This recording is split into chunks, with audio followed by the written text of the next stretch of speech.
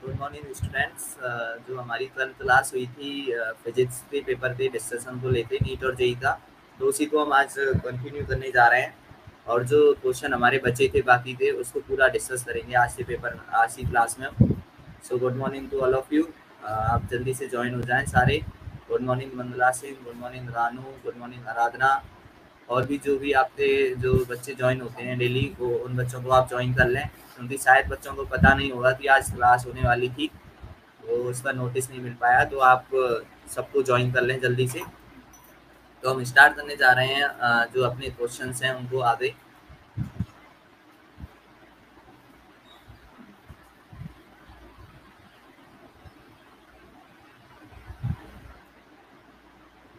तो हमने ट्वेल्थ तक डिस्कशन कर लिया था पिछली क्लास में, कल जो क्लास हुई थी हमारी। तो आज हम जो है थर्टीन नंबर के क्वेश्चन को डिस्कस करेंगे। तो आप देख सकते हैं, इसमें क्या है अपने पास ये पर पावर एनर्जी से क्वेश्चन है स्प्रिंग स्प्रिंग एनर्जी वाला। तो इसमें क्या बोला है कि एक स्प्रिंग है अपने पास और उसका जो फोर्स कांस्टेंट बोला है स्प्रिंग कांस्टेंट उसकी वैल्यू है three the work done the work done in increasing its extension from L to L will be तो इसमें क्या है लेंथ पूछी है एल वन से एल टू लेंथ को इंक्रीज कर रहे हैं जब हम स्प्रिंग की तो कितने वर्क डन करना पड़ेगा, कितना कार्य करना पड़ेगा उसके लिए। हिंदी में बोले तो एल वन से एल टू तक लंबाई में वृद्धि करेंगे या प्रसार करेंगे तो कितना कार्य करना पड़ेगा वर्क डन कितना होगा, ये पूछा है। तो इसके लिए हम क्या लगाएँगे, जो फॉर्मूला होता है अपने पास में फोर्स इंटू में मतलब कि चेंज इन लैंड डिस्प्लेसमेंट वाला, या फिर इसको एनर्जी से भी कर सकते हैं हम डायरेक्ट तो देखते हैं कैसे होगा। इसको हम डायरेक्ट कर देंगे एनर्जी वाले फॉर्मूले से ही। तो इसको हम देख लेते हैं।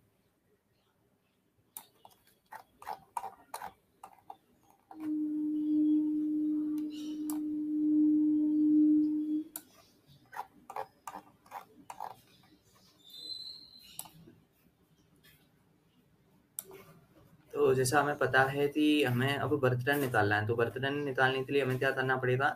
जो एनर्जी है उसका डिफरेंस लेंगे, फाइनल माइनस इनिशियल करेंगे तो जब एक्सटेंशन एल वन तक है तो उस जो स्प्रिंग है, उसमें जब हम स्प्रिंग की लंबाई को कोई भी इंक्रीज करते हैं, कुछ भी लंबाई से तो उसमें कुछ ना कुछ एनर्जी स्टोर हो जाती है, जिसे हम क्या बोलते हैं? Spring energy. तो वो स्टोर्ड स्प्रिंग एनर्जी इनिशियल कितनी होती? जब एक्सटेंशन एल वन तक है तो होती हाफ़ थे एक्स स्क्वायर से हाफ़ थे एल वन स्क्वायर हो जाएगी। ठीक है हाफ़ एच स्क्वायर फॉर्मूला होता है स्प्रिंग एनर्जी का तो एच की जगह पे आ जाएगा? एल वन तो हाफ़ से एल वन स्क्वायर हो जाएगा। फिर जब हम उसको एल टू लेंथ तक इंक्रीज कर देंगे, बढ़ाते तो स्टोर्ड एनर्जी कितनी होगी फाइनल हाफ़ से एल टू स्क्वायर ठीक है, क्योंकि इनिशियल से एक्सटेंशन कितना हो गया? एल टू तो एल टू हाफ़ से एल टू स्क्वायर हो जाएगा। अब हमने कितना चेंज आया एनर्जी में? थी हाँ मतलब इनिशियल में स्टोर्ड एनर्जी इतनी थी, बाद में स्टोर्ड एनर्जी इतनी हो गई। हाफ़ से एल टू स्क्वायर तो कितनी एनर्जी हमने दी तो हम क्या कर सकते हैं यहाँ पे चेंज ले लेंगे डिफरेंस कि जो है बाद में जो है एल टू एक्सटेंशन पर stored energy minus L one extension पर स्टोर्ड एनर्जी तो हाफ़ से L two square minus half से एल वन स्क्वायर हो जाएगा कॉमन लेंगे हाफ़ से तो तो हाफ़ से L two square minus L one square ये वैल्यू अपने पास निकल के आ जाएगी। बर्थ डन जो है एक्सटेंशन करेंगे एल वन से एल टू तो उसको इंक्रीज करने में कितना बर्थ डन होगा। वो यहाँ से अपने पास निकल के आ जाता है। तो आप देख सकते हैं, कि स्प्रिंग एनर्जी का फॉर्मूला लगाया है हमने, बहुत ही सिंपल और बहुत ही बेसिक क्वेश्चन जो पूछा जाता है ये। ये क्वेश्चन आपको प्रीवियस ईयर क्वेश्चन जब आप देखेंगे पिछली सालों से नीट थे जेई थे बर्थ पावर एनर्जी चैप्टर में तो उसको, ये क्वेश्चन आपको कई बार देखने को मिलेगा। स्प्रिंग एनर्जी के ऊपर चेंज पूछा जाता है, वर्धन पूछा जाता है है ना? या फिर उल्टा पूछ लिया जाता है, इससे कि स्प्रिंग का एक्सटेंशन L1 करने में वर्तन इतना है या स्टोर्ड एनर्जी इतनी U है तो आ, मतलब L2 मतलब कुछ लाइन दे देगा जी जैसे दो सेंटीमीटर करने में यू है तो पाँच सेंटीमीटर करने में कितनी हो जाएगी स्टोर्ड एनर्जी तो वो ऐसे ही करना है हमें रिलेशन लेते कि U की वैल्यू लिखो पहले हाफ़ थे इंटू में जैसे टू टू सेंटीमीटर बोला है तो टू का स्क्वायर फिर बाद में जो है उसको यू डैश मान लिया फिर फाइव लिखो फिर डिफरेंस लेंगे तो उससे आ जाता है अपने पास रेशो लेके जो है। तो वो क्वेश्चन अपने पास पूछे जाते हैं रेशो वाले काफ़ी इसमें। तो स्प्रिंग एनर्जी काफ़ी इंपॉर्टेंट पोर्शन हो जाता है। तो सिंपल क्वेश्चन था, कोई भी डाउट हो तो पूछ सकते हैं। Good morning Puja Devi good morning Shani Dhanujiya Ajay Yadav.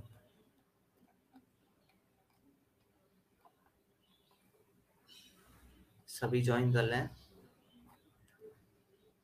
कोई भी डाउट हो तो पूछ सकते हैं इस क्वेश्चन में। अब हम अगले क्वेश्चन पे पढ़ रहे हैं।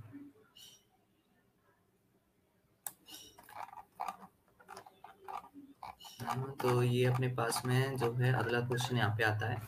एनएलएम चैप्टर से है ये लगभग। तो इसमें आप देख सकते हैं कि अपने पास एक ये गाड़ी है टाइप में, है ना? और एक अपने पास गाड़ी है, उसमें क्या है? एक बॉल लटकी हुई है स्टील की। स्टील की बॉल जो है दोनों साइड से, दोनों कॉर्नर से लटकी हुई है यहाँ पे। सस्पेंडेड है। सस्पेंडेड बोला मतलब लटकी हुई है, हम बोल सकते हैं। निलंबित है। और एंगल जो है, जो ये बना रही है लेवल के साथ, वो कितना है? सिक्सटी डिग्री दोनों साइड पे सेम एंगल है सिक्सटी डिग्री का, ठीक है? अब हमने क्या किया, ये गाड़ी जो है, वो ए एक्सलेशन के साथ में मूव करना शुरू करती है। थी then acceleration A of the trailing which will cause the tension अब इसमें ए एक्सलेशन से गाड़ी चल रही है तो इसमें तनाव मतलब टेंशन पूछा है इसमें, क्योंकि ये दोनों रस्सियाँ, अभी तो दोनों जो रस्सी हैं, उनमें कुछ ना जब लगती हुई हैं तो कुछ ना कुछ टेंशन होगी इनमें। जब ए एक्सेलरेशन से मूव करेंगे तो उस टेंशन पे क्या फ़र्क पड़ेगा, है ना? क्योंकि इनिशियल में सिक्सटी सिक्सटी डिग्री एंगल है तो यहाँ पे जो टेंशन होगी वो दोनों रस्सियों में सेम होगी लेकिन जब ए एक्सेलरेशन से इसको मूव कराएँगे ना तो फिर उसमें जो है डोरियों की लेंथ और एंगल सेम नहीं रहेगा।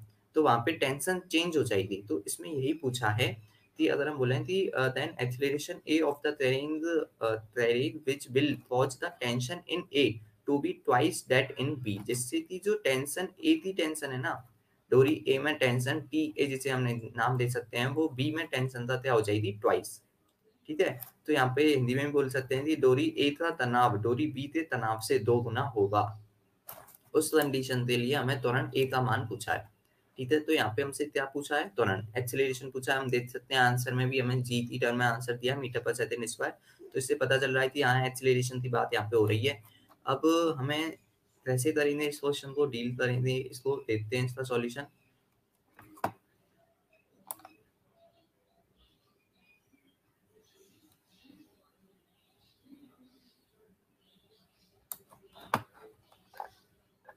तो देख सकते हैं आप यहाँ पे, ये अपने पास में सॉल्यूशन आता है. तो इसमें जब हम देखेंगे तो इसमें सबसे पहले हम डायग्राम पे फोकस करते हैं। डायग्राम कैसे बनेगा? तो जैसे डायग्राम इसमें बोला है अपने पास में कि क्या है डायग्राम तो अगर आप देख पा रहे हैं जूम करते अच्छे से तो इनिशियली जो कंडीशन है मतलब फाइनल कंडीशन हम देखते हैं तो फाइनल में क्या है कि एंगल हमें सिक्सटी डिग्री दिवन है।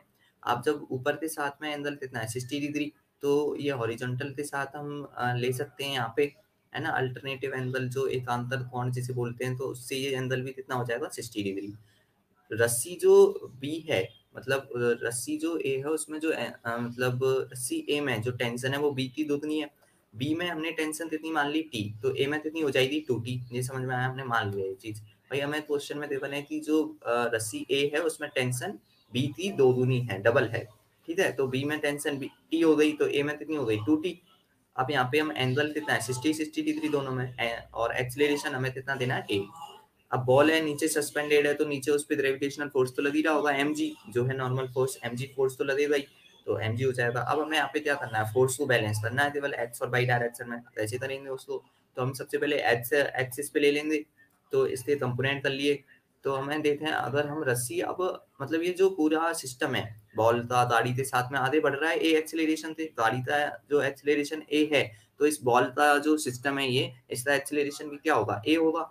है ना? तो आगे बढ़नी चाहिए तो फोर्स कौन सी डायरेक्शन में होना चाहिए? जो हम बोल सकते हैं इफ़ेक्टिव फोर्स है वो कहाँ होगा? एक्स डायरेक्शन में होगा। तो एक्स डायरेक्शन में फोर्स के लिए अब हम एक्स कंपोनेंट निकालते हैं सबसे पहले दोनों फोर्स से। टू टी का एक्स कंपोनेंट टी का एक्स कंपोनेंट और फिर जो तीसरा ज़्यादा होगा वो चीज़ दे देंगे तो इधर आ जाएगा टू टी कॉस सिक्सटी और इधर टी कॉस सिक्सटी तो दोनों का जो चेंज होगा two T cos sixty minus T cos sixty ये किसके बराबर होगा? ये इफ़ेक्टिव फोर्स होगा। भाई जब पूरा सिस्टम मूव कर रहा है गाड़ी के साथ में तो कोई ना कोई एक इफ़ेक्टिव फोर्स तो होगा। जिसकी वजह से ये मूव कर रहा है। तो इफ़ेक्टिव फोर्स कहाँ से आया जिसको एक्सिलेशन मिल रहा है। तो वो फोर्स जो है, दो फोर्स लग रहे हैं टू टी कॉस सिक्सटी और टी कॉस सिक्सटी तो जो नेट फोर्स होगा, वो कौन सी साइड में होगा? पता चल रहा है हमें कि हमें प्लस एक्स डायरेक्शन में लेना है प्लस आई तक में लेना है। नेट फोर्स क्योंकि गाड़ी उधर मूव कर रही है ए एक्सिलेशन से। तो नेट फोर्स कितना आएगा two T cos sixty minus T cos sixty ये समझ में आया? और नेट फोर्स किससे बराबर होता है हमेशा? एम ए के इक्वल्स तो इसलिए ये एम ए के इक्वल्स हो जाएगा मास यहाँ पे एम है सिस्टम का बॉल का और एक्सिलेशन ए दे बने। तो एक इक्वेशन ये बन गई। यहाँ पे वैल्यू रख देंगे थी वन बाय टू तो ये हो जाएगा T minus T by two T by two value आ जाएगी। तो फ़र्स्ट इक्वेशन हमारे पास में बनती है T by two equal to M A ठीक है? ये इतना समझ में आया थी T by two equal to क्या है? एम ए थे अब दूसरी चीज़, अब हम लगाएँगे कहाँ पे? वाई एक्सिस पे। भाई वाई एक्सिस पे एम जी फोर्स लग रहा है नीचे तो ऊपर भी फोर्स लगेगा। तो उसको भी बैलेंस करना पड़ेगा। तो टू टी का कंपोनेंट आएगा टू टी साइन सिक्सटी और टी का कंपोनेंट टी साइन सिक्सटी आएगा। ये मैंने कल आपको बता दिया था, हम कैसे कंपोनेंट लेते हैं। तो T sine sixty plus two T sine sixty दोनों को ऐड कर देंगे। और वो तो इससे इक्वल होना चाहिए एम जी थे क्योंकि जो गाड़ी है वो केवल एक्स डायरेक्शन में मूव कर रही है। ए थी एक्सिलेशन थे मैंने ऐसा तो है नहीं कि हमें वाई में भी कोई एक्सिलेशन दिया है। मतलब वाई में कोई इफ़ेक्टिव फोर्स नेट फोर्स नहीं है।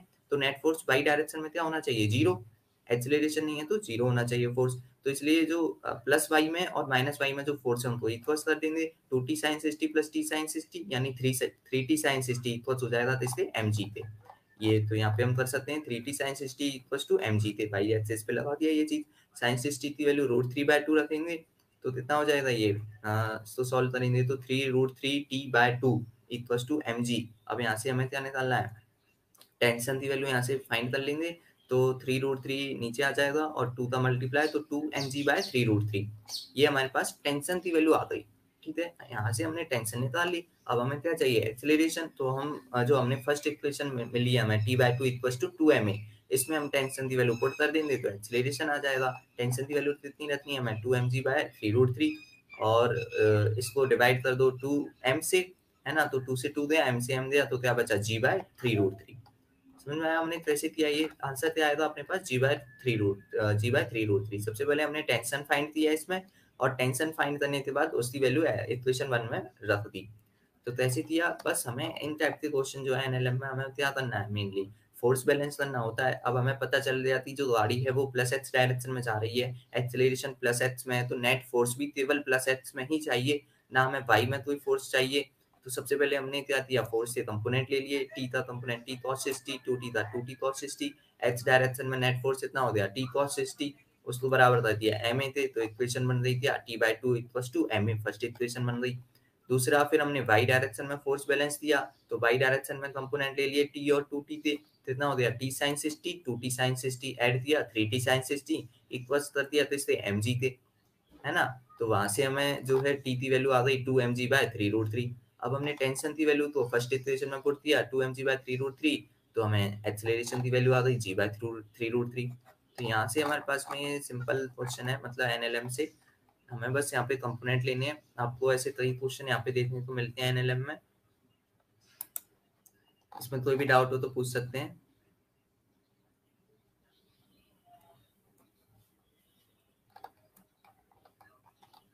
किसी को कोई भी डाउट हो तो पूछ लें।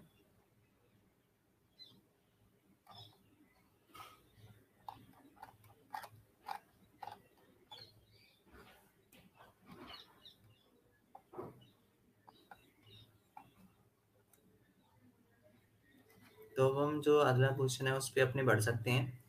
कर ही लिया होगा ये क्वेश्चन तो मेरे हिसाब से सबने।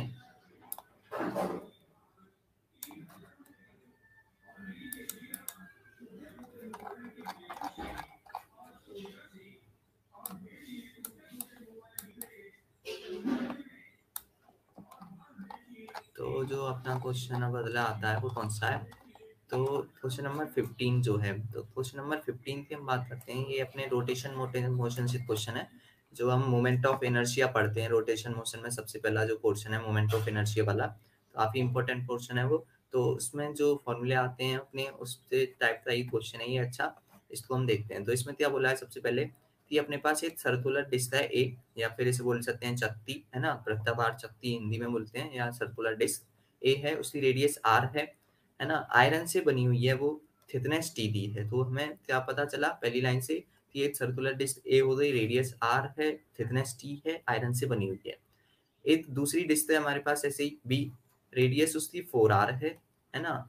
और यह भी आयरन से ही बनी हुई है सेम मटेरियल है थिकनेस कितनी है? टी बाय फोर मतलब रेडियस फोर टाइम्स है और टेंशन वन बाय फोर है, पहली छत्ती से। अब इसमें क्या पूछा है? रिलेशन पूछा है मोमेंट ऑफ़ इनर्शिया का आई ए और आई बी में, ठीक है? सेम एक्सिस से एक्रॉस समझ में आ रहा है ये चीज़? क्या पूछा है इसमें रिलेशन मोमेंट ऑफ़ इनर्शिया का। दो डिस्क हैं अपने पास, दो चत्ती हैं, है ना? ए चत्ती थी रेडियस आर थिकनेस टी है। मटेरियल दोनों का सेम है, ये पता चल रहा है आयरन है तो मटेरियल सेम है। दूसरी डिस्क है, उसकी रेडियस फोर आर और जो थिकनेस है वो टी बाय फोर है मोटाई। अब मोमेंट ऑफ़ इनर्शिया निकालना है इनका। हम प्रिंसिपल एक्सिस से लेंगे। प्रिंसिपल एक्सिस कौन सा होता है? जो सेंटर से जाता है और परपेंडिकुलर होता है। जैसे जब हम रोटेशन मतलब मोमेंट ऑफ़ इनर्शिया पढ़ते हैं डिस्क के लिए तो हम काफ़ी सारे एक्सिस डिफाइन करते हैं। जो सबसे पहला एक्सिस होता है, वो होता है जो सेंटर से जाता है और परपेंडिकुलर होता है। फिर ऐसे ही दूसरा एक्सिस होता है जो साइड से जाता है मतलब किनारे से जाता है और परपेंडिकुलर होता है। फिर दूसरा होता है सेंटर से होता है और वो जो है मतलब कैसा है हॉरिजॉन्टल है। चौथा होता है जो हॉरिजॉन्टल है और साइड से मतलब कि जो टेंजेंट है टेंजेंट से जा रहा है, वो चीज़ होती है। तो अब इसमें हमें कैसे फाइंड करेंगे जो है अपना फॉर्मूला कैसे आएगा। जो नॉर्मल फॉर्मूला है, वो तो आपको याद होगा जो डिस्क के लिए फॉर्मूला होता है प्रिंसिपल एक्सिस से होता है M R square by two है ना? अगर हमारे पास में क्या है, कोई रिंग है हॉलो रिंग जो होती है, जिसे हम बोलते हैं कि वलय वलय के लिए रिंग के लिए होता है एम आर स्क्वायर सेंटर्स वाले एक्सिस से छत्ती के लिए होता है M R square by two ऐसे ही हम निकालते हैं सॉलिड स्फेयर के लिए हॉलो स्फेयर के लिए solid cylinder hollow cylinder two by five two by seven होता है अपने स्फेयर के लिए। तो ये सारे फॉर्मूले याद करने होते हैं हमें। तो उसी के ऊपर है अपने पास। अब छत्ती के लिए नॉर्मल फॉर्मूला तो पता है M R square by two लेकिन हमें कौन सा निकालना पड़ेगा अब यहाँ पे? क्योंकि यहाँ पे जो रेडियस दिवन है, लेकिन मास दिवन नहीं है दोनों का। तो मास को हम कैसे लिखेंगे? फिर यहाँ पे हम डेंसिटी वाले फॉर्मूले से मास को वैल्यू पुट करेंगे, उससे अपने पास में आ जाएगा। आई ए और आई बी में रिलेशन निकालना है बस।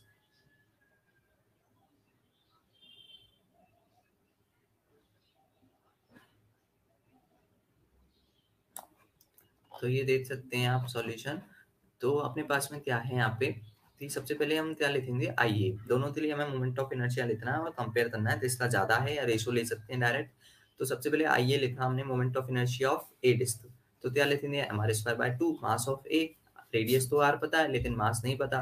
तो मास के लिए क्या करना पड़ेगा भाई? हमें पता है डेंसिटी जी टू क्या होता है? मास अपॉन वॉल्यूम ठीक है? तो मास अपॉन वॉल्यूम निकालना है यहाँ पे। तो मास कितना होगा फिर डेंसिटी इंटू में वॉल्यूम डेंसिटी रो हो गई अब यहाँ पे एक चीज़ बोली है हमें पता है कि यहाँ पे क्या बोला था कि दोनों डिस्क का मटेरियल क्या है?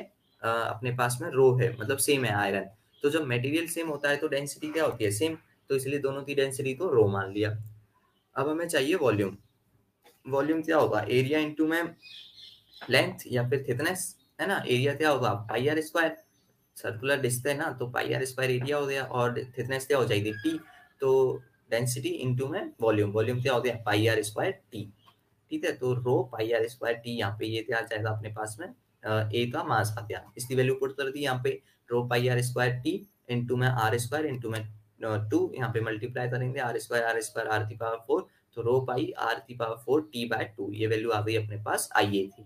अब ऐसे ही हमें क्या निकालना I B moment of inertia of B disc तो उसके लिए भी M R square by two लगाएँगे। आर की वैल्यू क्या होगी? रेडियस फोर आर है तो फोर आर रख दिया यहाँ पे। फोर आर का स्क्वायर मास निकालना है तो मास क्या होगा? वही डेंसिटी इंटू में वॉल्यूम डेंसिटी रो सेम है वॉल्यूम लिखना है पाई आर स्क्वायर इंटू में टी भाई मोटाई तो पाई रेडियस कितना है यहाँ पे। फोर आर तो फोर आर का स्क्वायर और जो थिकनेस है वो टी बाय फोर होती तो यहाँ पे सॉल्व करेंगे तो ये फोर फोर से फोर क्रॉस हो जाएगा। एक तो एक फोर बचेगा तो four rho pi R square T ये वैल्यू आ जाएगी अपने पास। मास ऑफ़ बी इसको पुट करेंगे यहाँ पे तो मास ऑफ़ बी की value four rho pi R square T into में रेडियस फोर आर का स्क्वायर सिक्सटीन आर स्क्वायर हो गया ये। इसको सॉल्व किया तो सोलह इंटू में चार कितना हो गया? चौसठ सिक्सटी फोर हो गया। और ये हो गया आर की पावर फोर तो sixty four rho pi R की पावर फोर इंटू में टी बाय टू अब यहाँ पे देख सकते हैं कि आई ए कितना है? रो पाई आर आर की power four T by two और आई बी कितना है? Sixty four rho rho pi R की power four T by two तो यहाँ से अब हम डायरेक्ट पता चल रहा है कि जो है आई बी की वैल्यू ज़्यादा है आई ए से। अब इस ऑप्शन में तो हमसे यही पूछा है कि आई ए ज़्यादा है आई बी ज़्यादा है सेम है, ये चीज़ है। लेकिन हमसे यहाँ पे रेशो पूछ सकता है वो, है ना? रेशो ऑप्शन बदल देगा रेशो दे देगा आई ए बाय आई बी या फिर आई बी अपॉन आई ए का रेशो पूछेगा।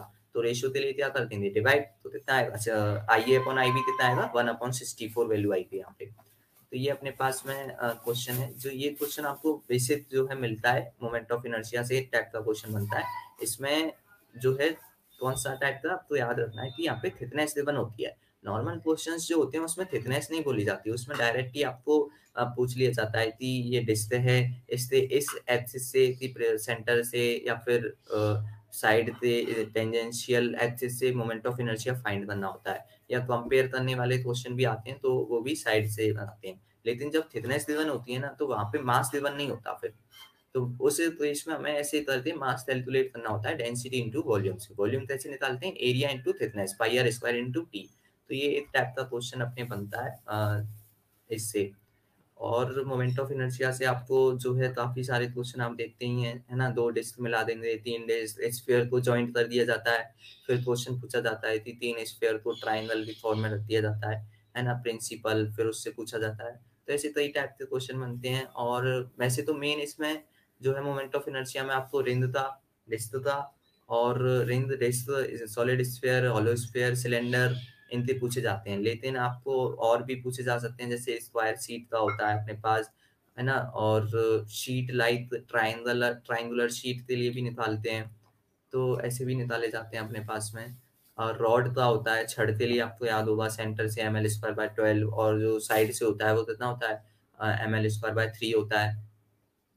रॉड के लिए ये फॉर्मूले आते हैं। रॉड को क्या करता है? क्वेश्चन में कि रॉड को एक्सिस से कुछ एंगल पे रख देता है थीटा एंगल पे रख दिया, जैसे सिक्सटी डिग्री एंगल पे रख दिया एक्सिस से तो उसमें अब पूछेगा रॉड के लिए साइड से या फिर सेंटर से मोमेंट ऑफ़ इनर्शिया तो उसके लिए क्या करना होता है, फिर sine square theta cos square theta वाले फॉर्मूले लगते हैं उधर। तो इस टाइप से थोड़े टफ बनाने के लिए पूछता है, नहीं तो बेसिक में तो आपको जनरल क्वेश्चन ही पूछे जाते हैं। तो कोई भी डाउट हो तो पूछ सकते हैं।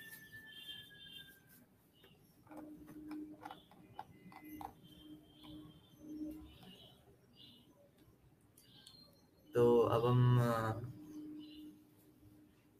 आगे बात करते हैं। क्वेश्चन नंबर सिक्सटीन पे। तो क्वेश्चन नंबर सिक्सटीन हम देख सकते हैं यहाँ पे क्या है ये क्वेश्चन। इसको अगर हम देखें तो यहाँ पे अपने पास में एक्सेलरेशन वगैरह पूछा है। तो क्या दिया है कि figure below shows a body of mass M, moving with the uniform speed on a circular path of radius R. है ना? एक अपने पास ये सर्कुलर पाथ है मतलब हम बोल सकते हैं कि एक बॉडी है जो मूव कर रही है सर्कुलर पाथ पे और उस पाथ सर्कुलर पाथवे की रेडियस कितनी है आर दिवन है। अब यहाँ पे ये दिवन कर मतलब पी वन से पी पी टू पॉइंट के बीच में एक्सेलरेशन में चेंज पूछा है कि what is the change in acceleration in going from P one to P two ठीक है? त्वरण में परिवर्तन पूछा है। पी वन से पी टू में एक्सेलरेशन में क्या चेंज आएगा? वो चीज़ यहाँ पे पूछी गई है। तो यूनिफॉर्म स्पीड से बोला है, आप देख सकते हैं कि figure below shows a body of mass है moving with the uniform speed on a circular path of radius R uniform speed है, हमें पता चल रहा है सेम स्पीड से जा रहा है, बस यहाँ पे एक्सिलेशन पूछा है। तो अब हम बोलेंगे कि जब हम सर्कुलर मोशन पढ़ते हैं ना तो वहाँ पे हमें मेनली तीन टाइप का अगर हम बात करें ना, वैसे तो दो टाइप का एक्सिलेशन होता है, लेकिन उन दोनों से फिर फाइनल एक्सिलेशन आता है तो हम बोलते हैं तीन फॉर्मूले आते हैं एक्सिलेशन से। एक आता है हमारे पास में टेंजेंशियल एक्सिलेशन टेंजेंशियल एक्सिलेशन जो केवल स्पीड की वजह से आता है, वो अपने पास में क्या होता है? एटी एटी जो है वो नॉर्मल फॉर्मूला होता है अपने पास, जिसको हम A is equal to alpha R उससे भी कैलकुलेट करते हैं एटी वाले फॉर्मूले को तो या फिर जो है वो वेलोसिटी अपॉन टाइम से वो आता है। दूसरा फॉर्मूला जो है वो आता है अपने पास ए सी पी यानी जो है अपने पास सेंट्रीपिटल जो एक्सिलेशन होता है, जैसे सेंट्रीपिटल फोर्स होता है M B square by R तो कहाँ से आता है? M B square by centripetal acceleration से उसकी वैल्यू होती है वी स्क्वायर बाय आर या ओमेगा स्क्वायर इंटू में आर ठीक है? V square by R into में या फिर ओमेगा स्क्वायर इंटू में आर ये दो फॉर्मूले होते हैं सेंट्रीपिटल एक्सिलेशन से।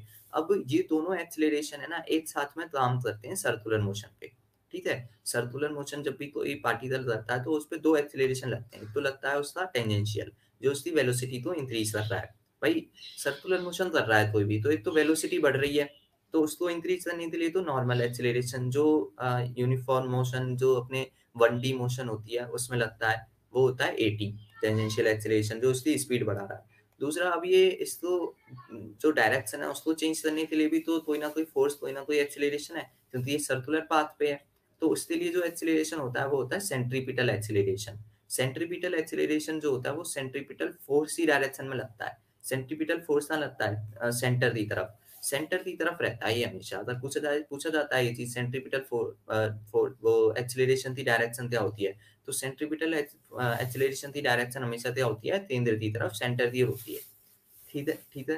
तो यहाँ पे हम बोल सकते हैं अब कि दो एक्सिलरेशन आ जाएँगे। तो जब फाइनल एक्सिलरेशन पूछा जाए हमसे कभी भी क्वेश्चन में what is change in acceleration या फाइनल एक्सिलरेशन लिखा हो या ट्रिवल एक्सिलरेशन लिखा हो ओनली एक्सिलरेशन भी लिखा है तो हमें दोनों एक्सिलरेशन का रिजल्टेंट फाइंड करना होता है। वो कैसे होगा A T vector plus A C P vector से आता है वो under root A T square plus A C P square से। ये हमारे पास सर्कुलर मोशन में क्वेश्चन पूछ जाते हैं इस पर काफ़ी। हमें पता है, अब हम ऐसा वेक्टर सम क्यों कर रहे हैं, ये भी चीज़ है, क्योंकि जो टेंजेंशियल एक्सिलरेशन होता है, उसकी डायरेक्शन टेंजेंशियल होती है। जैसे यहाँ पे अगर हम देते हैं पी वन पॉइंट पे तो वेलोसिटी की जो डायरेक्शन होती वो क्या होगी प्लस वाई में प्लस जे तक में तो टेंजेंशियल एक्सिलरेशन की डायरेक्शन भी प्लस जे तक होगी और जो सेंट्रीपिटल एक्सिलरेशन होता है उसकी डायरेक्शन तो होगी सेंटर की तरफ़, यानी माइनस आई तक में होगी तो जब दोनों का रिजल्टेंट आएगा तो कौन से एक्सिस पे आएगा? Minus H plus Y axis पे, है ना? Minus H plus Y axis पे आएगा बीच में। तो under root A square plus B square करना पड़ेगा तो ऐसे ही under root A T square plus under root मतलब ए सी पी स्क्वायर करते हैं यहाँ पे। तो ये चीज़ आपको समझ में आई होती थी हाँ जो सर्कुलर मोशन में उसमें दो एक्सिलरेशन का फंडा क्या होता है, दोनों के क्या काम होते हैं।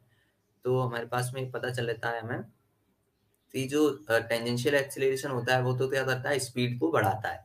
और जो हमारे पास में कौन सा होता है सेंट्रीपिटल एक्सिलरेशन होता है, वो डायरेक्शन को चेंज करता है। अब ये भी चीज़ है कि हमारे पास में जो टेंजेंशियल एक्सिलरेशन होता है, वो हमेशा वर्क नहीं करता। टेंजेंशियल एक्सिलरेशन केवल तभी कार्य करेगा जब स्पीड में चेंज होगा, जब स्पीड इंक्रीज होगी। अगर स्पीड इंक्रीज नहीं हो रही होगी तो वहाँ पे टेंजेंशियल एक्सिलरेशन कभी भी वर्क नहीं करता। ये भी चीज़ फिक्स है। ठीक है? तो ये समझना होता है। तो यहाँ पे हम देख सकते हैं, ये अपने पास में सर्कुलर पाथवे बना लिया हमने रफ डायग्राम में। रेडियस आर है। पॉइंट पी वन पे वेलोसिटी बी है। पॉइंट पी टू पे वेलोसिटी बी है। अब यहाँ पे एक्सिलरेशन हम निकालेंगे पॉइंट पी पे। ठीक है? Acceleration of at point P point P पे एक्सिलरेशन कितना होगा? तो यहाँ से हम बोल सकते हैं कि कितना होगा सर ए जे तक पॉइंट पी पे एक्सिलरेशन कितना होगा ए जे तक हो जाएगा। क्योंकि जे तक डायरेक्शन में मैंने बताया, जैसे कि प्लस वाई एक्सिस में तो ए जे तक। पॉइंट पी टू पे एक्सिलरेशन कितना होगा। अब एक्सिलरेशन तो वही है टेंजेंशियल एक्सिलरेशन की बात हो रही है ये। तो ये डायरेक्शन कौन सी है? माइनस आई तो माइनस आई ए आई तक हो गया। अब चेंज इन एक्सिलरेशन पूछा है तो चेंज इन एक्सिलरेशन के लिए क्या करेंगे यहाँ पे। इनका रिजल्टेंट ले लिया तो कितना आ जाएगा? Under root A square plus A square तो कितना हो जाएगा ये? रूट टू ए हो जाएगा। ठीक है? रूट टू ए ए हो जाएगा यहाँ पे acceleration change in acceleration tangential में। अब ए सी पी निकालना है तो ए सी पी क्या होता है? वी स्क्वायर बाय आर ठीक है? ए सी पी कितना होता है? वी स्क्वायर बाय आर तो यहाँ से हम देख सकते हैं, जब हम अब दोनों का रिजल्टेंट जब निकालेंगे तो अपने पास में कितनी वैल्यू आई थी सॉल्व करने के बाद root two V square by R आ जाएगी। क्योंकि ए की जो वैल्यू है, वो कितनी है? अब यहाँ पे मैं एक और बार इस क्वेश्चन को समझाता हूँ। आंसर अपने पास root two V square by R आएगा। इस क्वेश्चन में थोड़ा सा डिफरेंस क्या है जो हमें नोटिस करना है कि यहाँ पे यूनिफॉर्म मोशन बोला है। और जब यूनिफॉर्म मोशन बोलता है ना यूनिफॉर्म मोशन का मतलब होता है कि उसकी वेलोसिटी जो है पूरे में क्या रहेगी? सेम वेलोसिटी पूरी मोशन में सेम रहनी चाहिए। वेलोसिटी सेम रहनी चाहिए तो वहाँ पे कोई टेंजेंशियल डिफाइन नहीं होता अपने पास। ठीक है? तो उसके लिए वहाँ पे हम केवल सेंट्रीपिटल निकालते हैं और सेंट्रीपिटल के लिए हमें क्या करना पड़ेगा? रिजल्टेंट लेना पड़ेगा। रिजल्टेंट जो है क्या है? ए जे वेक्टर और ए आई वैक्टर का रूट टू ए आ गया। ए की वैल्यू जो है नेट जो एक्सिलरेशन है वो कौन सा है यहाँ पे? सेंट्रीपिटल टेंजेंशियल तो है ही नहीं। तो सेंट्रीपिटल की वैल्यू क्या है? वी स्क्वायर बाय आर तो यहाँ पे पुट करती वी स्क्वायर बाय आर तो root two V square by R answer आ जाएगा अपने पास में। तो समझ में आया? कैसे आया अपने पास। यूनिफॉर्म मोशन बोला है तो यहाँ पे वेलोसिटी सेम रहेगी। वेलोसिटी सेम रहेगी।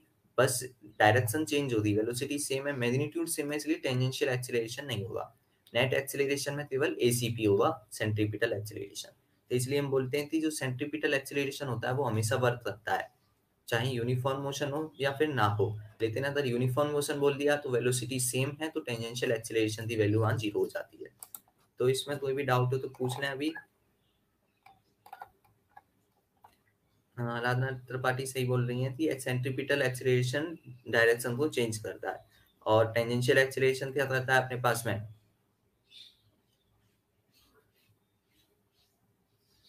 सेंट्रीपिटल को हम रेडियल एक्सिलरेशन भी बोल सकते हैं, बिल्कुल। क्योंकि यह कौन सी, अब रेडियल से हमें क्या पता चल रहा है कि इसकी जो डायरेक्शन है वो रेडियस की साइड में है ना सेंटर की तरफ़ है, इसलिए इसको रेडियल भी बोल सकते हैं। तो ये चीज़ अपने पास में आती है। कोई भी डाउट हो तो पूछ सकते हैं अभी आप। सर्कुलर मोशन पे ये एक्सेलरेशन का जो आपके पास क्वेश्चन है काफ़ी इंपॉर्टेंट है। तो इसको आपको मतलब याद रखना ही है। दोनों फॉर्मूले आपको याद रखते हैं टेंजेंशियल एक्सेलरेशन से फॉर्मूले एक तो A equals to alpha R से आता है, हमें एंगुलर एक्सेलरेशन पता होता है अल्फ़ा और वहाँ टेंजेंशियल निकालना है तो A equals to alpha R चाहिए होता है। और दूसरा अपने पास में जो है फॉर्मूला कौन सा होता है, ये ए टी का। वी बाय टी वाला वो फॉर्मूला भी होता है आपके पास। और जो सेंट्रीपिटल है उसके लिए बी स्क्वायर बाय आर या फिर ओमेगा स्क्वायर इंटू में आर ये फॉर्मूला भी होता है। तो ये अपन बात करते हैं यहाँ पे। अब हम अगले क्वेश्चन पे बढ़ते हैं अपना, जो है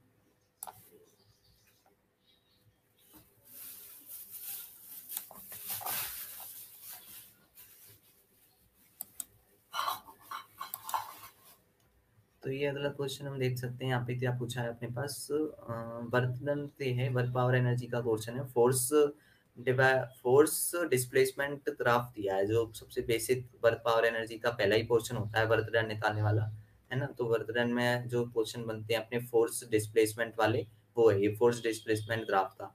तो इसको मैं आपको वैसे ही एक बार समझा देता हूँ कि हमसे क्या क्वेश्चन होता है, क्या इसका थ्योरी होती है। तो इसमें क्या होता है? वर्क डन का फॉर्मूला क्या होता है सबसे पहले तो? तो वर्क डन होता है वैसे फोर्स इंटू में डिस्प्लेसमेंट ये फॉर्मूला होता है। एफ़ डी एच या फिर एफ़ इंटू में एच एफ़ डेल्टा एच है ना? और जब उसको हम डिफरेंशियल फॉर्म में निकालते हैं थी हमें इंटीग्रेट मतलब थी जब हमें क्या पता होता है फोर्स का जो डायरेक्ट वैल्यू पता नहीं होती फोर्स एक्स की टर्म में दिया होता है।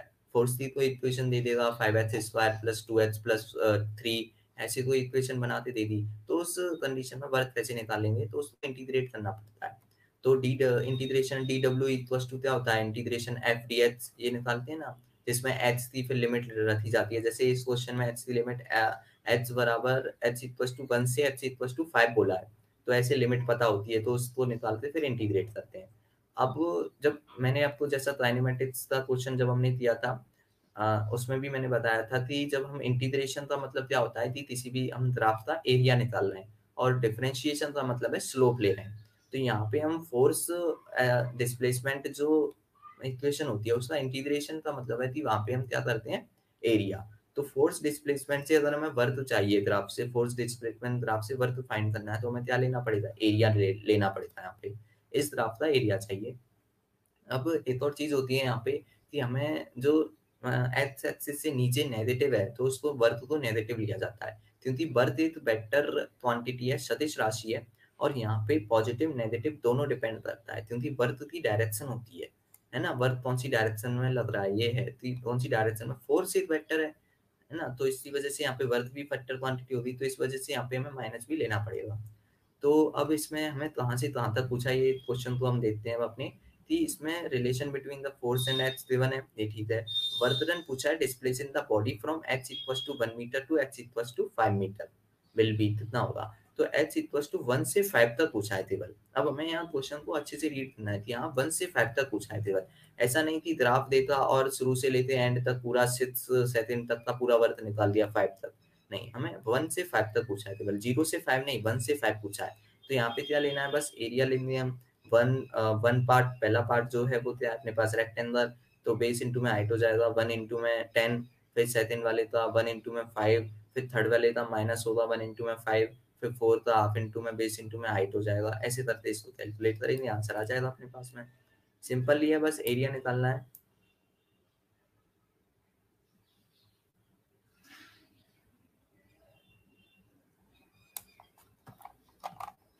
तो यहाँ पे हम देख सकते हैं, ये अपने पास में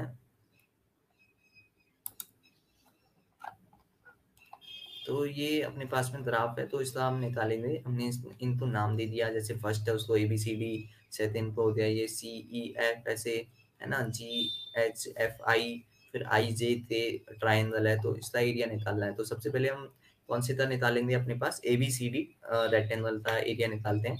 तो कितना होगा अपने पास में टू माइनस वन वन हो गया तो वन इंटू में टेन ठीक है? वन इंटू में टेन आ जाएगा यहाँ पे। फिर सेकंड वाले जो सी ई एफ़ जो रेक्टेंगल है, उसका कितना होगा? वन इंटू में फाइव तो वन इंटू में फाइव हो गया ये। और थर्ड वाले के लिए हम क्या करेंगे?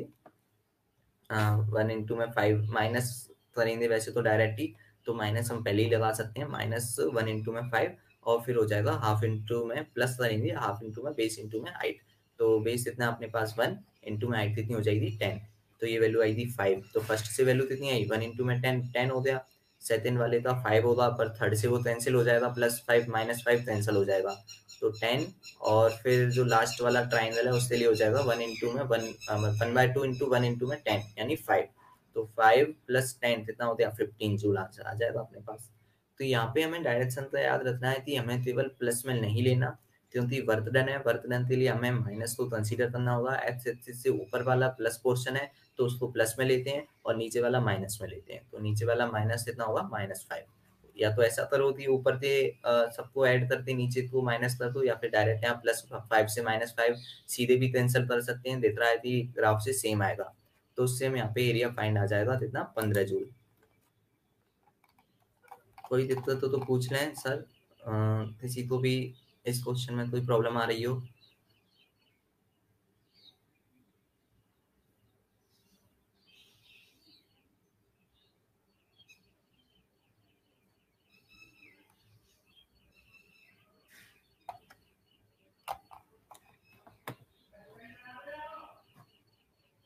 Good morning Prakash Mishra. कोई डाउट नहीं है तो अब हम आगे बढ़ते हैं। जिनका भी गलत हुआ हो, वे एक बार फिर से समझाना है तो मैं बता देता हूँ यहाँ पे फिर से। यहाँ पे डायग्राम बना हुआ है अपना। तो हम देख सकते हैं यहाँ पे कि अपने पास में ग्राफ दिवन है। जैसा मैंने बोला फोर्स वर्सेस डिस्प्लेसमेंट का ग्राफ दिवन है। बर्तन क्या होता है? फोर्स इंटू डिस्प्लेसमेंट जब हम इंटीग्रेटेड फॉर्म लिखते हैं तो क्या लिखते हैं? Integration D W equal to integration F D X जब इंटीग्रेशन कर रहे हैं, यानी एफ़ एक्स ग्राफ का क्या निकालना पड़ेगा? एरिया पता चल रहा है ये चीज़। डिफ्रेंशिएट करते हैं तो स्लोप तो यहाँ पे हम पता कर सकते हैं कि फोर्स डिस्प्लेसमेंट ग्राफ है, यहाँ पे हमें क्या निकालना है? एरिया और हमें पता चल रहा है, हमें कहाँ से कहाँ तक पूछा है? एच इक्वल टू वन से फाइव तक पूछा है, केवल टोटल नहीं पूछा। तो एरिया निकालना है। अब हम यहाँ पे देख सकते हैं फ़र्स्ट पार्ट का जो होगा, वो कितना होगा? वन इंटू में फाइव बाई बेस इंटू में हाइट करेंगे वन इंटू में टेन हो जाएगा ये फ़र्स्ट वाले का। सेकेंड वाले का कितना होगा? वन इंटू में फाइव अब थर्ड वाला जो है वो एक्स एक्सिस से नीचे है तो माइनस में लेना पड़ेगा। ठीक है? नीचे का माइनस में लेना। और वर्क जो है वेक्टर क्वांटिटी है फोर्स वेक्टर है, इसलिए हमें वेक्टर में लेना पड़ेगा तो नीचे का माइनस साइन यहाँ पे बहुत इंपॉर्टेंट है। साइन के साथ में लेना है चिन्ह के साथ। तो नीचे का माइनस फाइव हो जाएगा। तो यहाँ पे पता चल रहा है ऊपर का प्लस फाइव नीचे का माइनस फाइव सीधे कैंसिल हो जाएगा। और थर्ड वाले का half into base into height से हम निकाल लेंगे कितना आएगा? फाइव फाइव आएगा तो फाइव प्लस टेन कितना हो जाएगा? फिफ्टीन जूल डायरेक्ट है। अभी भी कोई डाउट हो तो पूछ लें नहीं तो होना नहीं चाहिए। अब हम अगले क्वेश्चन पे बढ़ते हैं।